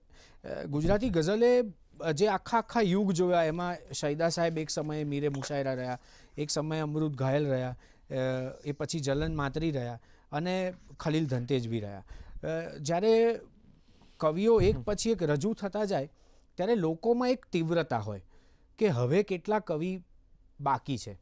અથવા હું બહુ સારી રીતે બોલ્યો. બાકી કદાચ ઓડિયન્સમાં એવું પૂછતા હશે કે કેટલા પત્યા એકબીજાને. કે પતાવે વાત એટલી જ આવે કે ખલીલ ધંતેજવી સુધી પહોંચે ને ત્યાં સુધીમાં લોકોની તાલાવેલી તીવ્રતા એટલી બધી આમ એવી હોય કે અમે દાદ આપવા તૈયાર છીએ હવે ખલીલ સાહેબ આવે આવે. અને મેં એવું જોયું છે કે એમના નામે લોકો બૂમો પાડે સિટી વગાડે. ગુજરાતી ગઝલનો એવો એક જબરજસ્ત દોર જે ખલીલ સાહેબ જીવ્યા છે ભરપૂર જીવ્યા છે ચિક્કાર જીવ્યા છે. એટલે એ વખતે કશું બોલવું ને આપણે લાંબા વિશેષણો કે પરિચયો આપીએ ને તો બહુ તકલીફ પડે. એટલે હું હંમેશા એમનો પરિચય એક કે બે કે ત્રણ વાક્યમાં આપીને પૂરું કરું. પણ એ હંમેશા મારી સાથે મને પ્રેમથી અમે સાથે બહુ કામ કર્યું. મુશાયરાની એવી એવી એવી જગ્યાઓએ ગયા કે વાત ના પૂછો. શું એમના એ એ જ જિંદાદિલી ઉપર શેર લખી શકે કે જે કઠણ માટીને ઉથલાવી શકે. જે કઠણ માટીને ઉથલાવી શકે, એ જ માણસ બીજ પણ વાવી શકે. તો એમણે આવું બીજ વાવીને છાંયડા ઉછેરવાનું કામ કર્યું છે. તો બીજ વાવીને એમણે છાંયડા ઉછેરવાનું કામ કર્યું છે. ખલીલ સાહેબની બીજી પણ ઘણી બધી બાજુઓ છે જે કદાચ ઓછી પ્રખ્યાત અથવા આ પેઢીને ઓછી ખબર હોય કે બહુ સારા ફિલ્મ મેકર હતા અને નવલકથાઓ પણ એમણે ખાસી એવી લખી છે. તો એમની આ જે અન્ય શબ્દ સૃષ્ટિ છે એના વિશે ડૉક્ટર મુકુલ ચોકસી આપની પાસેથી જાણવા માંગીશ. ખલીલે તો લગભગ તમામ સાહિત્યના પાસાઓ પર કામ કર્યું છે. છેલ્લે છેલ્લે છેલ્લા વર્ષોમાં તેઓ કટાર લેખક તરીકે પણ ખૂબ જ પ્રસિદ્ધ થયા. એમણે નાટકો લખ્યા, ફિલ્મો લખી બીજી બધી સ્ક્રિપ્ટો લખી, ગદ્ય લખ્યું, ઘણું બધું લખ્યું. પણ એ એ, એનો મૂળ રંગ તો ગઝલનો જ રંગ. એટલે એમની એમની જે ગઝલ અંગેની જે એમ, એમની પોતાની વિભાવના હતી અને આપણે એમને વિશે જે ગઝલકાર વિશે જે કહીએ, તેમાં મારે ખાલી આટલું ચાર પંક્તિમાં કહેવાનું કે શું સાહેબી તું ભોગવે? છે વાહ રે ખલીલ. શું સાહેબી તું ભોગવે છે વાહ રે ખલીલ? કે છંદો કરે રસોઈ તમારે ઘરે ખલીલ? ને કચરા પોતા રદીફ તારે ત્યાં કરે ખલીલ? ને કાફિયાઓ તારે ત્યાં પાણી ભરે ખલીલ? વાહ વાહ. તો જે જે બધું અમે કવિઓ ની જે આ અમારું જે ચલણ છે આ એ એ ચલણ તો બધા એને ત્યાં પાણી ભરતા હતા ને ત્યાં રસોઈ કરતા હતા. તો મુશાયરાની વાત કવિ તમે કરી? તો ખાલી એટલું જ એટલું જ કહી દઉં કે ભાવકો સાથેનો નાતો કેવો હતો? કે નિર્ભય છે આખા બોલી છે જિદ્દી સ્વમાની છે ઉદ્દંડ એરોગન્ટ કદી એની બાની છે કે ભિક્ષા ભિક્ષાની જેમ દાદ કદી માંગતા નથી આથી તો ભાવકોએ એની વાત માની છે. વાહ વાહ વાહ. વાહ વાહ. તો એમની બહુ પ્રખ્યાત તમે વાત કરી મુકુલભાઈ તો તમે મન મૂકીને વર્ષો ઝાપટું આપણને નહીં ફાવે અમે હેલીના માણસ માવઠું આપણને નહીં ફાવે. એટલે એમને માવઠાથી બી નફરત છે જેમ કે અત્યારે આ કોરોના માવઠા જેવી વસ્તુ છે. આપણે તો જીવન જિંદા દિલ્હીની આપણે વાત કરવા ભેગા થયા છે કોરોના કાળની અંદર. તો અંકિતભાઈ કે જે માણસને હાર્ટ એટેક આવ્યા હોય છપ્પન વર્ષની ઉંમરે હાર્ટ એટેક આવે પછી ઘણા બધા આવ્યા હોય ત્રણ વાર એન્જિયોપ્લાસ્ટી થઈ હોય. એવા કવિ આટલા વિશાળ દિલ રાખીને કેમનું જીવી શકાય? કારણ કે કોરોના કાળમાં ઘણા બધાને એવું થયું છે કે ઘણી બધી હિંમત અત્યારે હારી રહ્યા છે. કદાચ અત્યારે જોતા હશે અને અત્યારે પણ વિચારતા હશે કે શું થશે શું થશે ત્યારે આપણી સામે એવું વ્યક્તિત્વ છે કે જે આટલા બધા જીવનના પડકારો ઝીલીને પણ જિંદા દિલ્હીથી જીવી ગયો અને જીવતા શીખવાડી પણ ગયો. તો એના વિશે તમારું શું કહેવું છે? ઉત્સવભાઈ મુકુલભાઈ મારી વાત સાથે સંમત થશે. મુકુલભાઈ તો અમે જાણીએ છીએ ખલીલ સાહેબને. મેં ઉત્સવભાઈ એમને ક્યારેય ફરિયાદ કરતા કે નિરાશાની ગરતામાં મેં ક્યારે એમને જોયા જ નથી. એ જ્યારે ચૂપ હોય મૌન હોય ત્યારે સમજી લેવું કે હવે કંઈક એવું જોરદાર આવવાનું છે સર્જન કે જેનો જડબે સલાક જવાબ એ આપોઆપ એમના એમના શબ્દોમાં એમની ગઝલમાં આપી દેશે. એમનું એ સૌથી મોટું જમા પાસું રહ્યું કે એમણે બહુ જ બધા કાર્યક્ષેત્રમાં કામ કર્યું. કદાચ એ કાર્યક્ષેત્રમાં એમને જોઈએ એવી સફળતા કદાચ નહીં મળી હોય. પણ એમને જે ક્ષેત્ર પાસેથી અપેક્ષા નહોતી, ત્યાંથી એમને ભરપૂર આકાશ ભરાઈ જાય એટલી સફળતાઓ મળી. એટલે એનો એક સંતોષ પણ એમની પાસે હતો. આ એક એવું વ્યક્તિત્વ કે જે આટલા બધા, આટલા એટેક સાથે, આટલા જીવન, એમના એમના શરીર એમનાથી થોડુંક અસહકારનું આંદોલન કરતું હતું. પણ એ પોતે બહુ એકદમ અડીખમ અને મક્કમ રહ્યા. એટલે જ આવો શાયર એમ લખી શકે કે હું જીવ્યો છું. ન સમજો કે ફક્ત જીવ્યો છું. પહેલાંમાં એમ કહે છે કે જીવ્યો છું, પછી એમ કહે છે કે એટલું જ નથી જીવ્યો કે હું જીવું છું. હું જીવ્યો છું, ન સમજો કે ફક્ત જીવ્યો છું. શ્વાસની અડચણો વેઠીને સખત જીવ્યો છું. આપ તો આખું જીવન સાવ સળંગ જીવી ગયા. હું એક જિંદગી દસ બાર વખત જીવ્યો છું. દસ બાર વખત જીવી ચૂકેલા શાયર જિંદાદિલ શાયર ખલીલ ધનતેજવી છે. તો દસ બાર વખત જીવી ચૂક્યા હોય એવા શાયર ખલીલ ધનતેજવી. આ વાત આપણે સારું રાખીશું. શ્વાસની અડચણની વાત કરી અહીંયા આપણે વિરામની નાનકડી અડચણ લેવી પડશે. આ વિરામની નાનકડી અડચણ બાદ આપણે આ વાતોનો પ્રવાહ ચાલુ રાખીશું. જોતા રહો આપણા મુદ્દા આપણી વાત.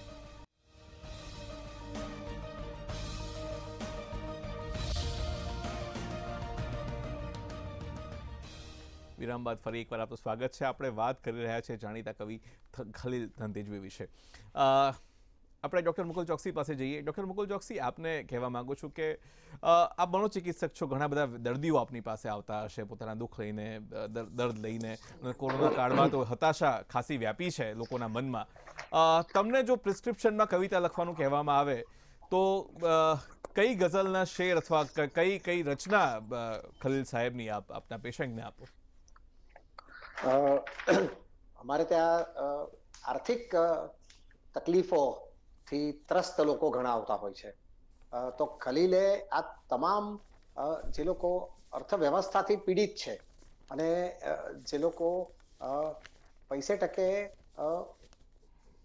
તકલીફમાં છે, એવા લોકો ની વાત અને સમાજના બિછડેલા વર્ગના લોકોની વાત ખલીલે કરી છે અને જગજીતસિંહે ગાઈ છે कि अब मैं राशन की कतारों में नजर आता हूँ अपने खेतों से बिछड़ने की सजा पाता हूँ અને ત્યાર પછી જે આ વાત મૂળ છે કે इतनी महंगाई के बाजार से कुछ लाता हूँ इतनी महंगाई से बाजार से कुछ लाता हूँ अपने बच्चों में उसे बांट के शर्माता हूँ और अपनी नींदों का लहू पोंछने की कोशिश में जागते जागते थक जाता हूँ सो जाता हूँ और कोई चादर समझ के खींच न ले फिर से खलील मैं कफन ओढ़ के फुटपाथ पे सो जाता हूँ તો અ, ખલીલ અ, સ- અ, તમામ પ્રકારની પીડાઓને પોતાની આગવી રીતે વર્ણવે છે અને અ, છેલ્લે એ આટલું કહે છે કે ઘર સુધી તું આવવાની જીદ ન કર હા ઘર નથી ઘર નથી નહીતર હું ના પાડું તને વાહ વાહ વાહ બહુ બહુ અદ્ભુત વાત છે. મને યાદ છે કે ધોરણ અગિયારમાં જ્યારે હું હતો ત્યારે આ કવિતા મેં લગભગ મને ડાયરીમાં મેં નોંધી રાખી હતી. મને યાદ છે તમે વાત કરી છે યાદ આવી આપણી સાથે એક કોલર જોડાયા છે દીપકભાઈ જુનાગઢથી. દીપકભાઈ આપની વાત રજૂ કરો.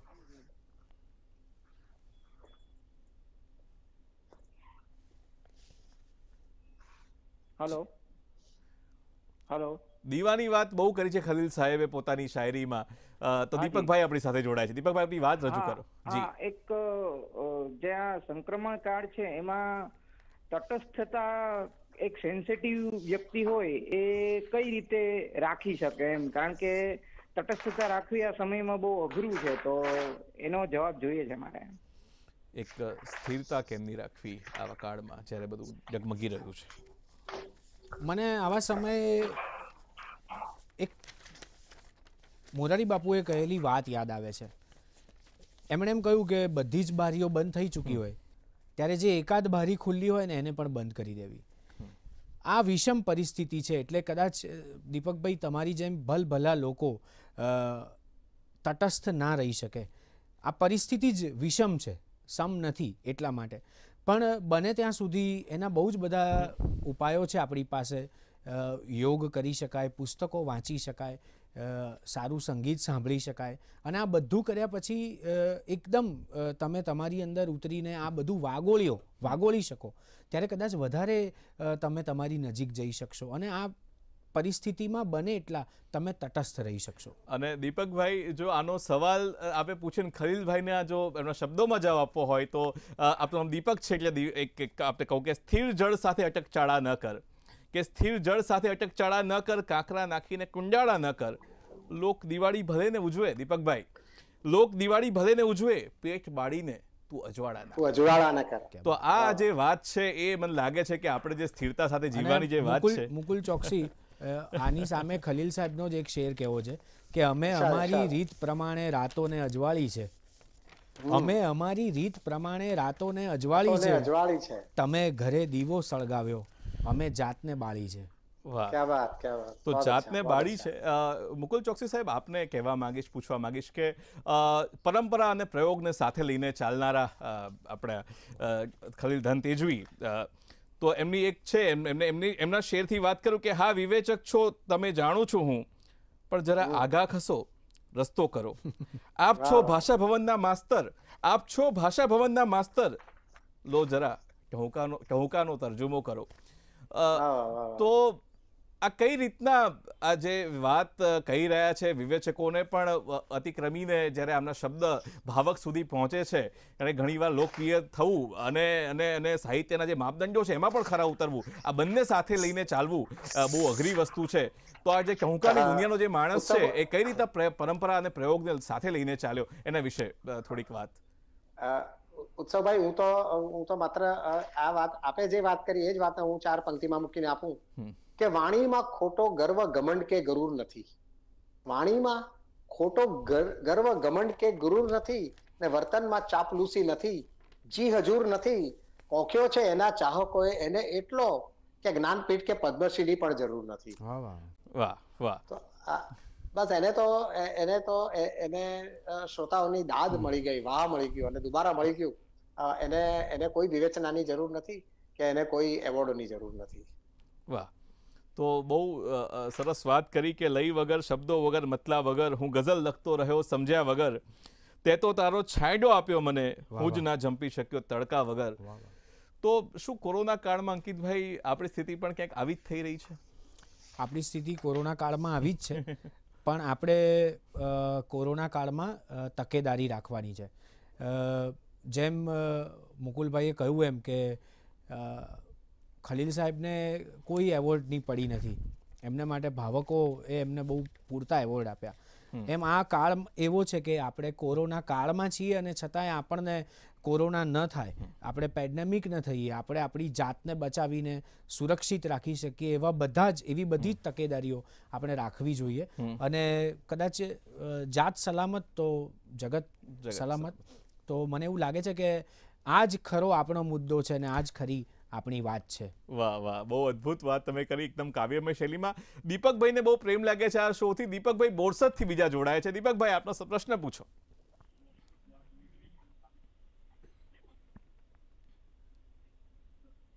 હેલો દીપકભાઈ. આપણા મુદ્દા આપણી વાત. નમસ્કાર દીપકભાઈ બોલું છું બોરસદથી. જી જી દીપકભાઈ બોલો બોલો. હા ખલીલભાઈ ની જે ખાસ લોકભોગ્ય ગઝલો છે એમાં જે એમણે હા બધાને સમજાઈ જાય અને ગળે ઉતરી જાય હૃદય સ્પર્શી સ્વસર્વી ઉતરી જાય એવી એવા શબ્દોમાં એમણે ચોટદાર લખેલું હોય છે.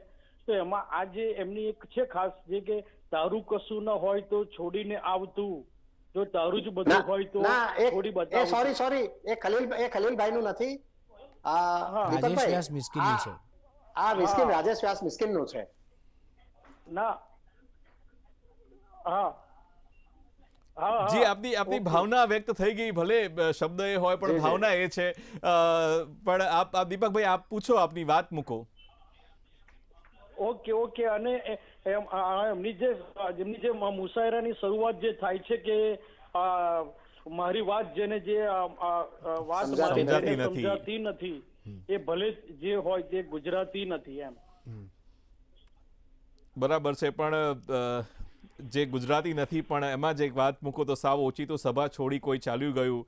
કોઈ ના પૂરી શકે એવી જગા ખાલી પડી. છેવટે એક ચપટું અજવાળી પામી ન શક્યો. ક્યાંકથી આવીને દીવાને હવા બાજી પડી તો આપણા દીવા દીપકભાઈની વાત આવી એટલે આ દીવો આપણો ઓલવાયો અને હવા બાજી પડી અને આટલા વર્ષો પછી બાર બારે જન્મ થયો ને ચાર ચારે એમનું ચાર ચારે હવા બાજી પડી. તો શું લાગે છે કે ફરી તોફાન કે ફરી આવો આગનો આખો ભડકો જ્વાળામુખી કહીએ શબ્દોનો એવો આવશે ખરો ગુજરાતી સાહિત્યમાં? જરૂર આવશે. ગુજરાતી સાહિત્યમાં સમયાંતરે આવો યુગ લઈને કવિઓ ચાલ્યા જ છે આવ્યા જ છે.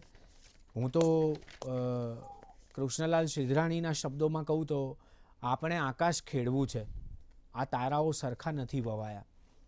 એક કવિ આવે છે ને આકાશ ખેડીને જાય છે. અને ગુજરાતી સાહિત્ય આવી બધી જ પ્રવૃત્તિઓથી આવી કવિતાઓથી આવા વાયરાથી આવી ખુમારીથી હંમેશા રળિયાત રહ્યું છે. તો બસ એ. ખલીલભાઈનો જ બીજો એક શેર તમે કહ્યું એ પ્રમાણે કે નવો માર્ગ મેં કંડાર્યો હતો ખુદ મારા પગલાથી. નવો માર્ગ મેં કંડાર્યો હતો ખુદ મારા પગલાથી. ઘણી પગદંડીઓ ફૂટી પછી તો એ જ રસ્તાથી.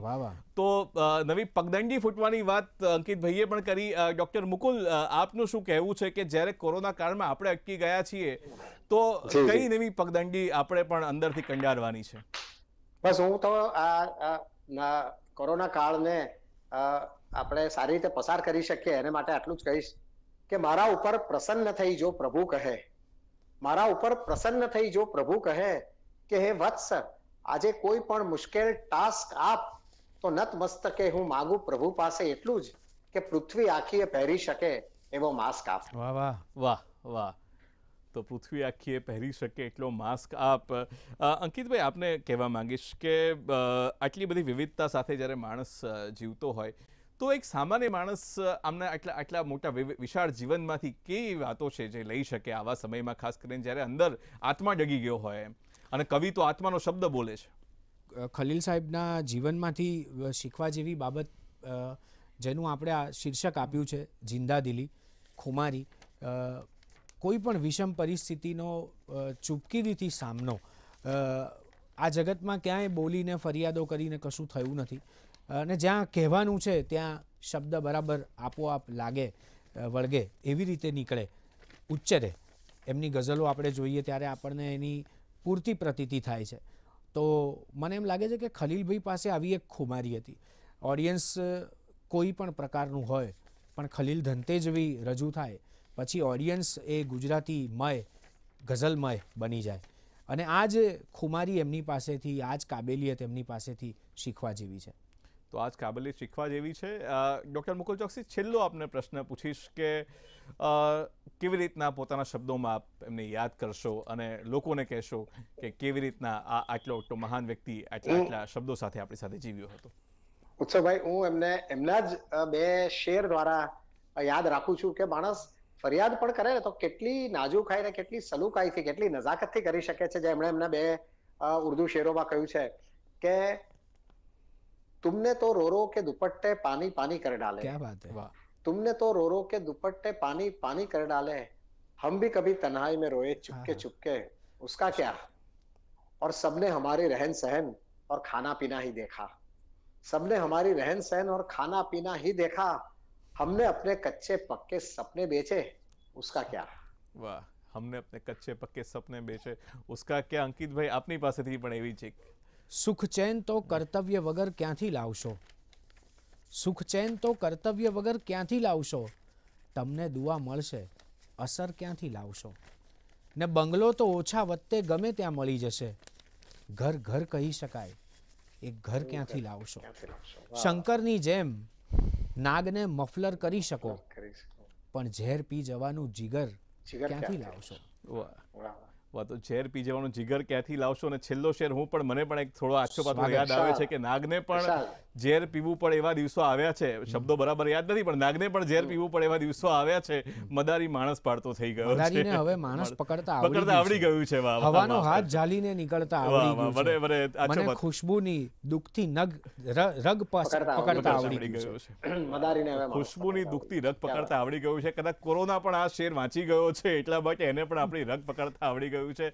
તો દર્શક મિત્રો આજ કાવ્યમય સંવાદ સાથે આવી જ ઊર્જા આવી જ જિંદાદિલી આવી આવો જ ઉત્સાહ તમારા જીવનમાં પણ પ્રસરે અને આપ પણ હસી ખુશી રમતા રમતા આટલી બધી મુસીબતો સામે લડતા લડતા આત્માની તાકાતથી, આત્મબળથી આ જે પેન્ડેમિક છે, આ જે રોગચાળો છે, આ કોરોના કાળની જે વિષમતાઓ છે, એનો સામનો કરી શકો એવી જ અભ્યર્થના સાથે અહીં વિરમું છું.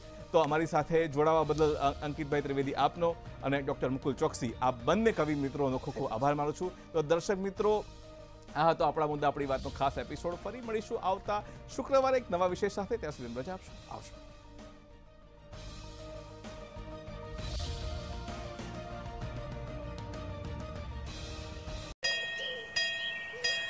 अरे sir sir sir sir sir sir sir मुझे नाम सर एक तो सवाल था ये आधार कार्ड हम गरीबन के लिए क्या करता है आधार कार्ड सरकार गरीबों के लिए बहुत सारा पैसा भेजती है उनकी पढ़ाई के लिए गैस के लिए राशन के लिए खेती के लिए। लेकिन उस पैसे में से काफ़ी सारा पैसा उन तक पहुँचने से पहले ही बीच में ही लीक हो जाता है। बिल्कुल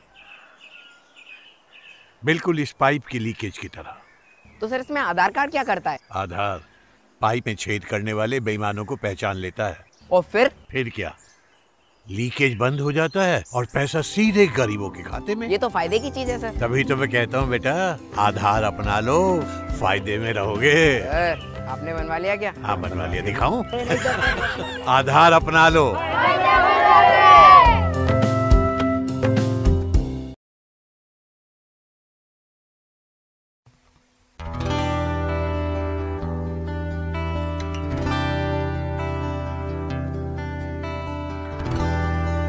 Adonyuma uhe paye. Chonga paibu seko ayancha Kawanga kanpu kaya Nyuhe pate mohima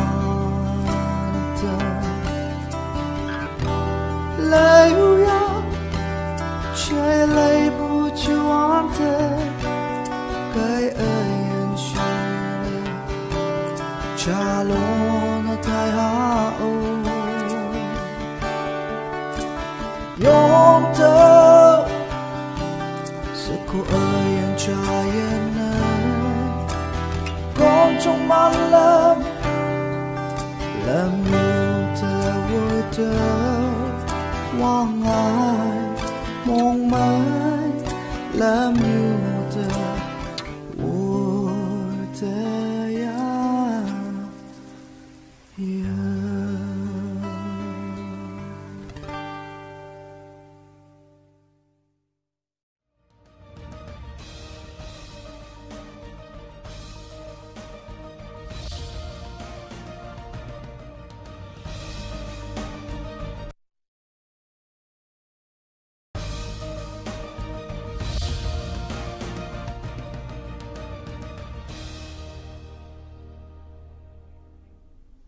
નમસ્તે દર્શક મિત્રો. સાંપ્રત ઘટના ઉપર આધારિત કાર્યક્રમ આપણા મુદ્દા આપણી વાતમાં હું નિશિત જોશી આપનું સ્વાગત કરું છું.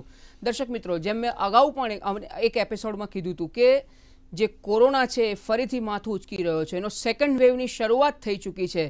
ત્યારે આજે આપણે એ જ અનુસંધાનમાં ફરીથી વિગતે ચર્ચા કરીશું.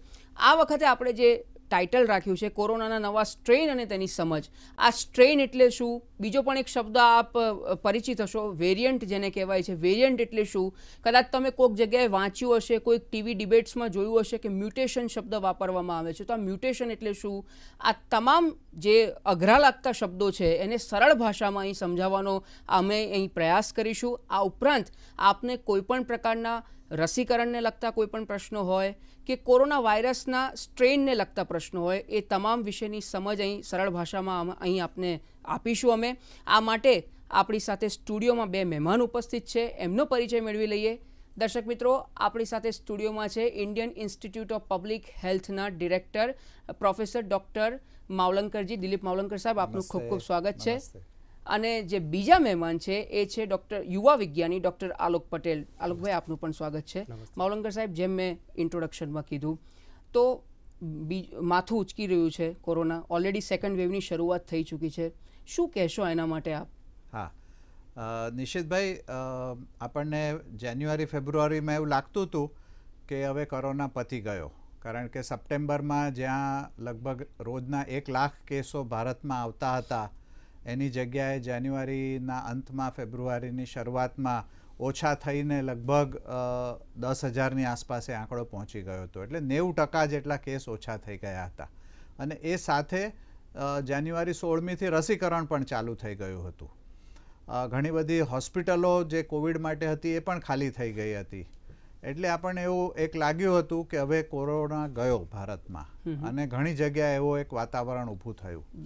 પણ ફેબ્રુઆરીના ત્રીજા અઠવાડિયાથી અને માર્ચમાં આપે જોયું હશે અને ન્યૂઝ મીડિયાએ બહુ જ સરસ રીતે એને હાઇલાઇટ કર્યું છે કે ઘણા ઝડપથી આ કોવિડના કેસ વધતા ગયા. દસ હજારમાંથી વીસ હજાર ત્રીસ હજાર ચાળીસ હજાર ને આજનો આંકડો તો એંશી હજાર ઉપર પહોંચી ગયો છે.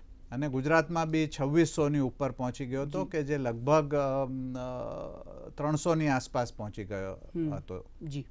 એટલે એ ચોક્કસ આ બીજું મોજું ગુજરાતમાં મહારાષ્ટ્રમાં ખાસ કરીને સૌથી વધારે પંજાબ કેરળા આંધ્રપ્રદેશ એવા દેશોમાં પ્રદેશોમાં ફેલાઈ રહ્યું છે. એટલે આપણે બહુ જ સચેત બનવાની જરૂર છે આ સમજવાની જરૂર છે કે કેમ આ મોજું ફેલાઈ રહ્યું છે. અને એને આપણે કઈ રીતે નાથી શકાય. બિલકુલ, ખૂબ સારી વાત કરી માવલંકર સાહેબ આપે. તો દર્શક મિત્રો, આપે જોયું તેમ માવલંકર સરે કીધું કે ખૂબ જ સચેત રહેવાની જરૂર છે, સાવધાની રાખવાની જરૂર છે, પણ ડરવાની જરૂર બિલકુલ નથી. અને આપને કોરોનાને લગતા કોઈ પણ પ્રકારના પ્રશ્નો તો આપના ટેલિવિઝન સ્ક્રીન ઉપર એક નંબર ફ્લેશ થઈ રહ્યો છે, બે છસો પંચ્યાસી આડત્રીસ ચૌદ અને બે છસો પંચ્યાસી આડત્રીસ સોળ. આપ આ નંબર ડાયલ કરીને પ્રશ્ન પૂછી શકો છો. ડૉક્ટર આલોક આપની પાસે આવવા માંગીશ કે જેમ મેં અગાઉ જે કીધું ઇન્ટ્રોડક્શનમાં કે મેં ઘણા બધા શબ્દોનો પ્રયોગ કર્યો. મ્યુટેશન છે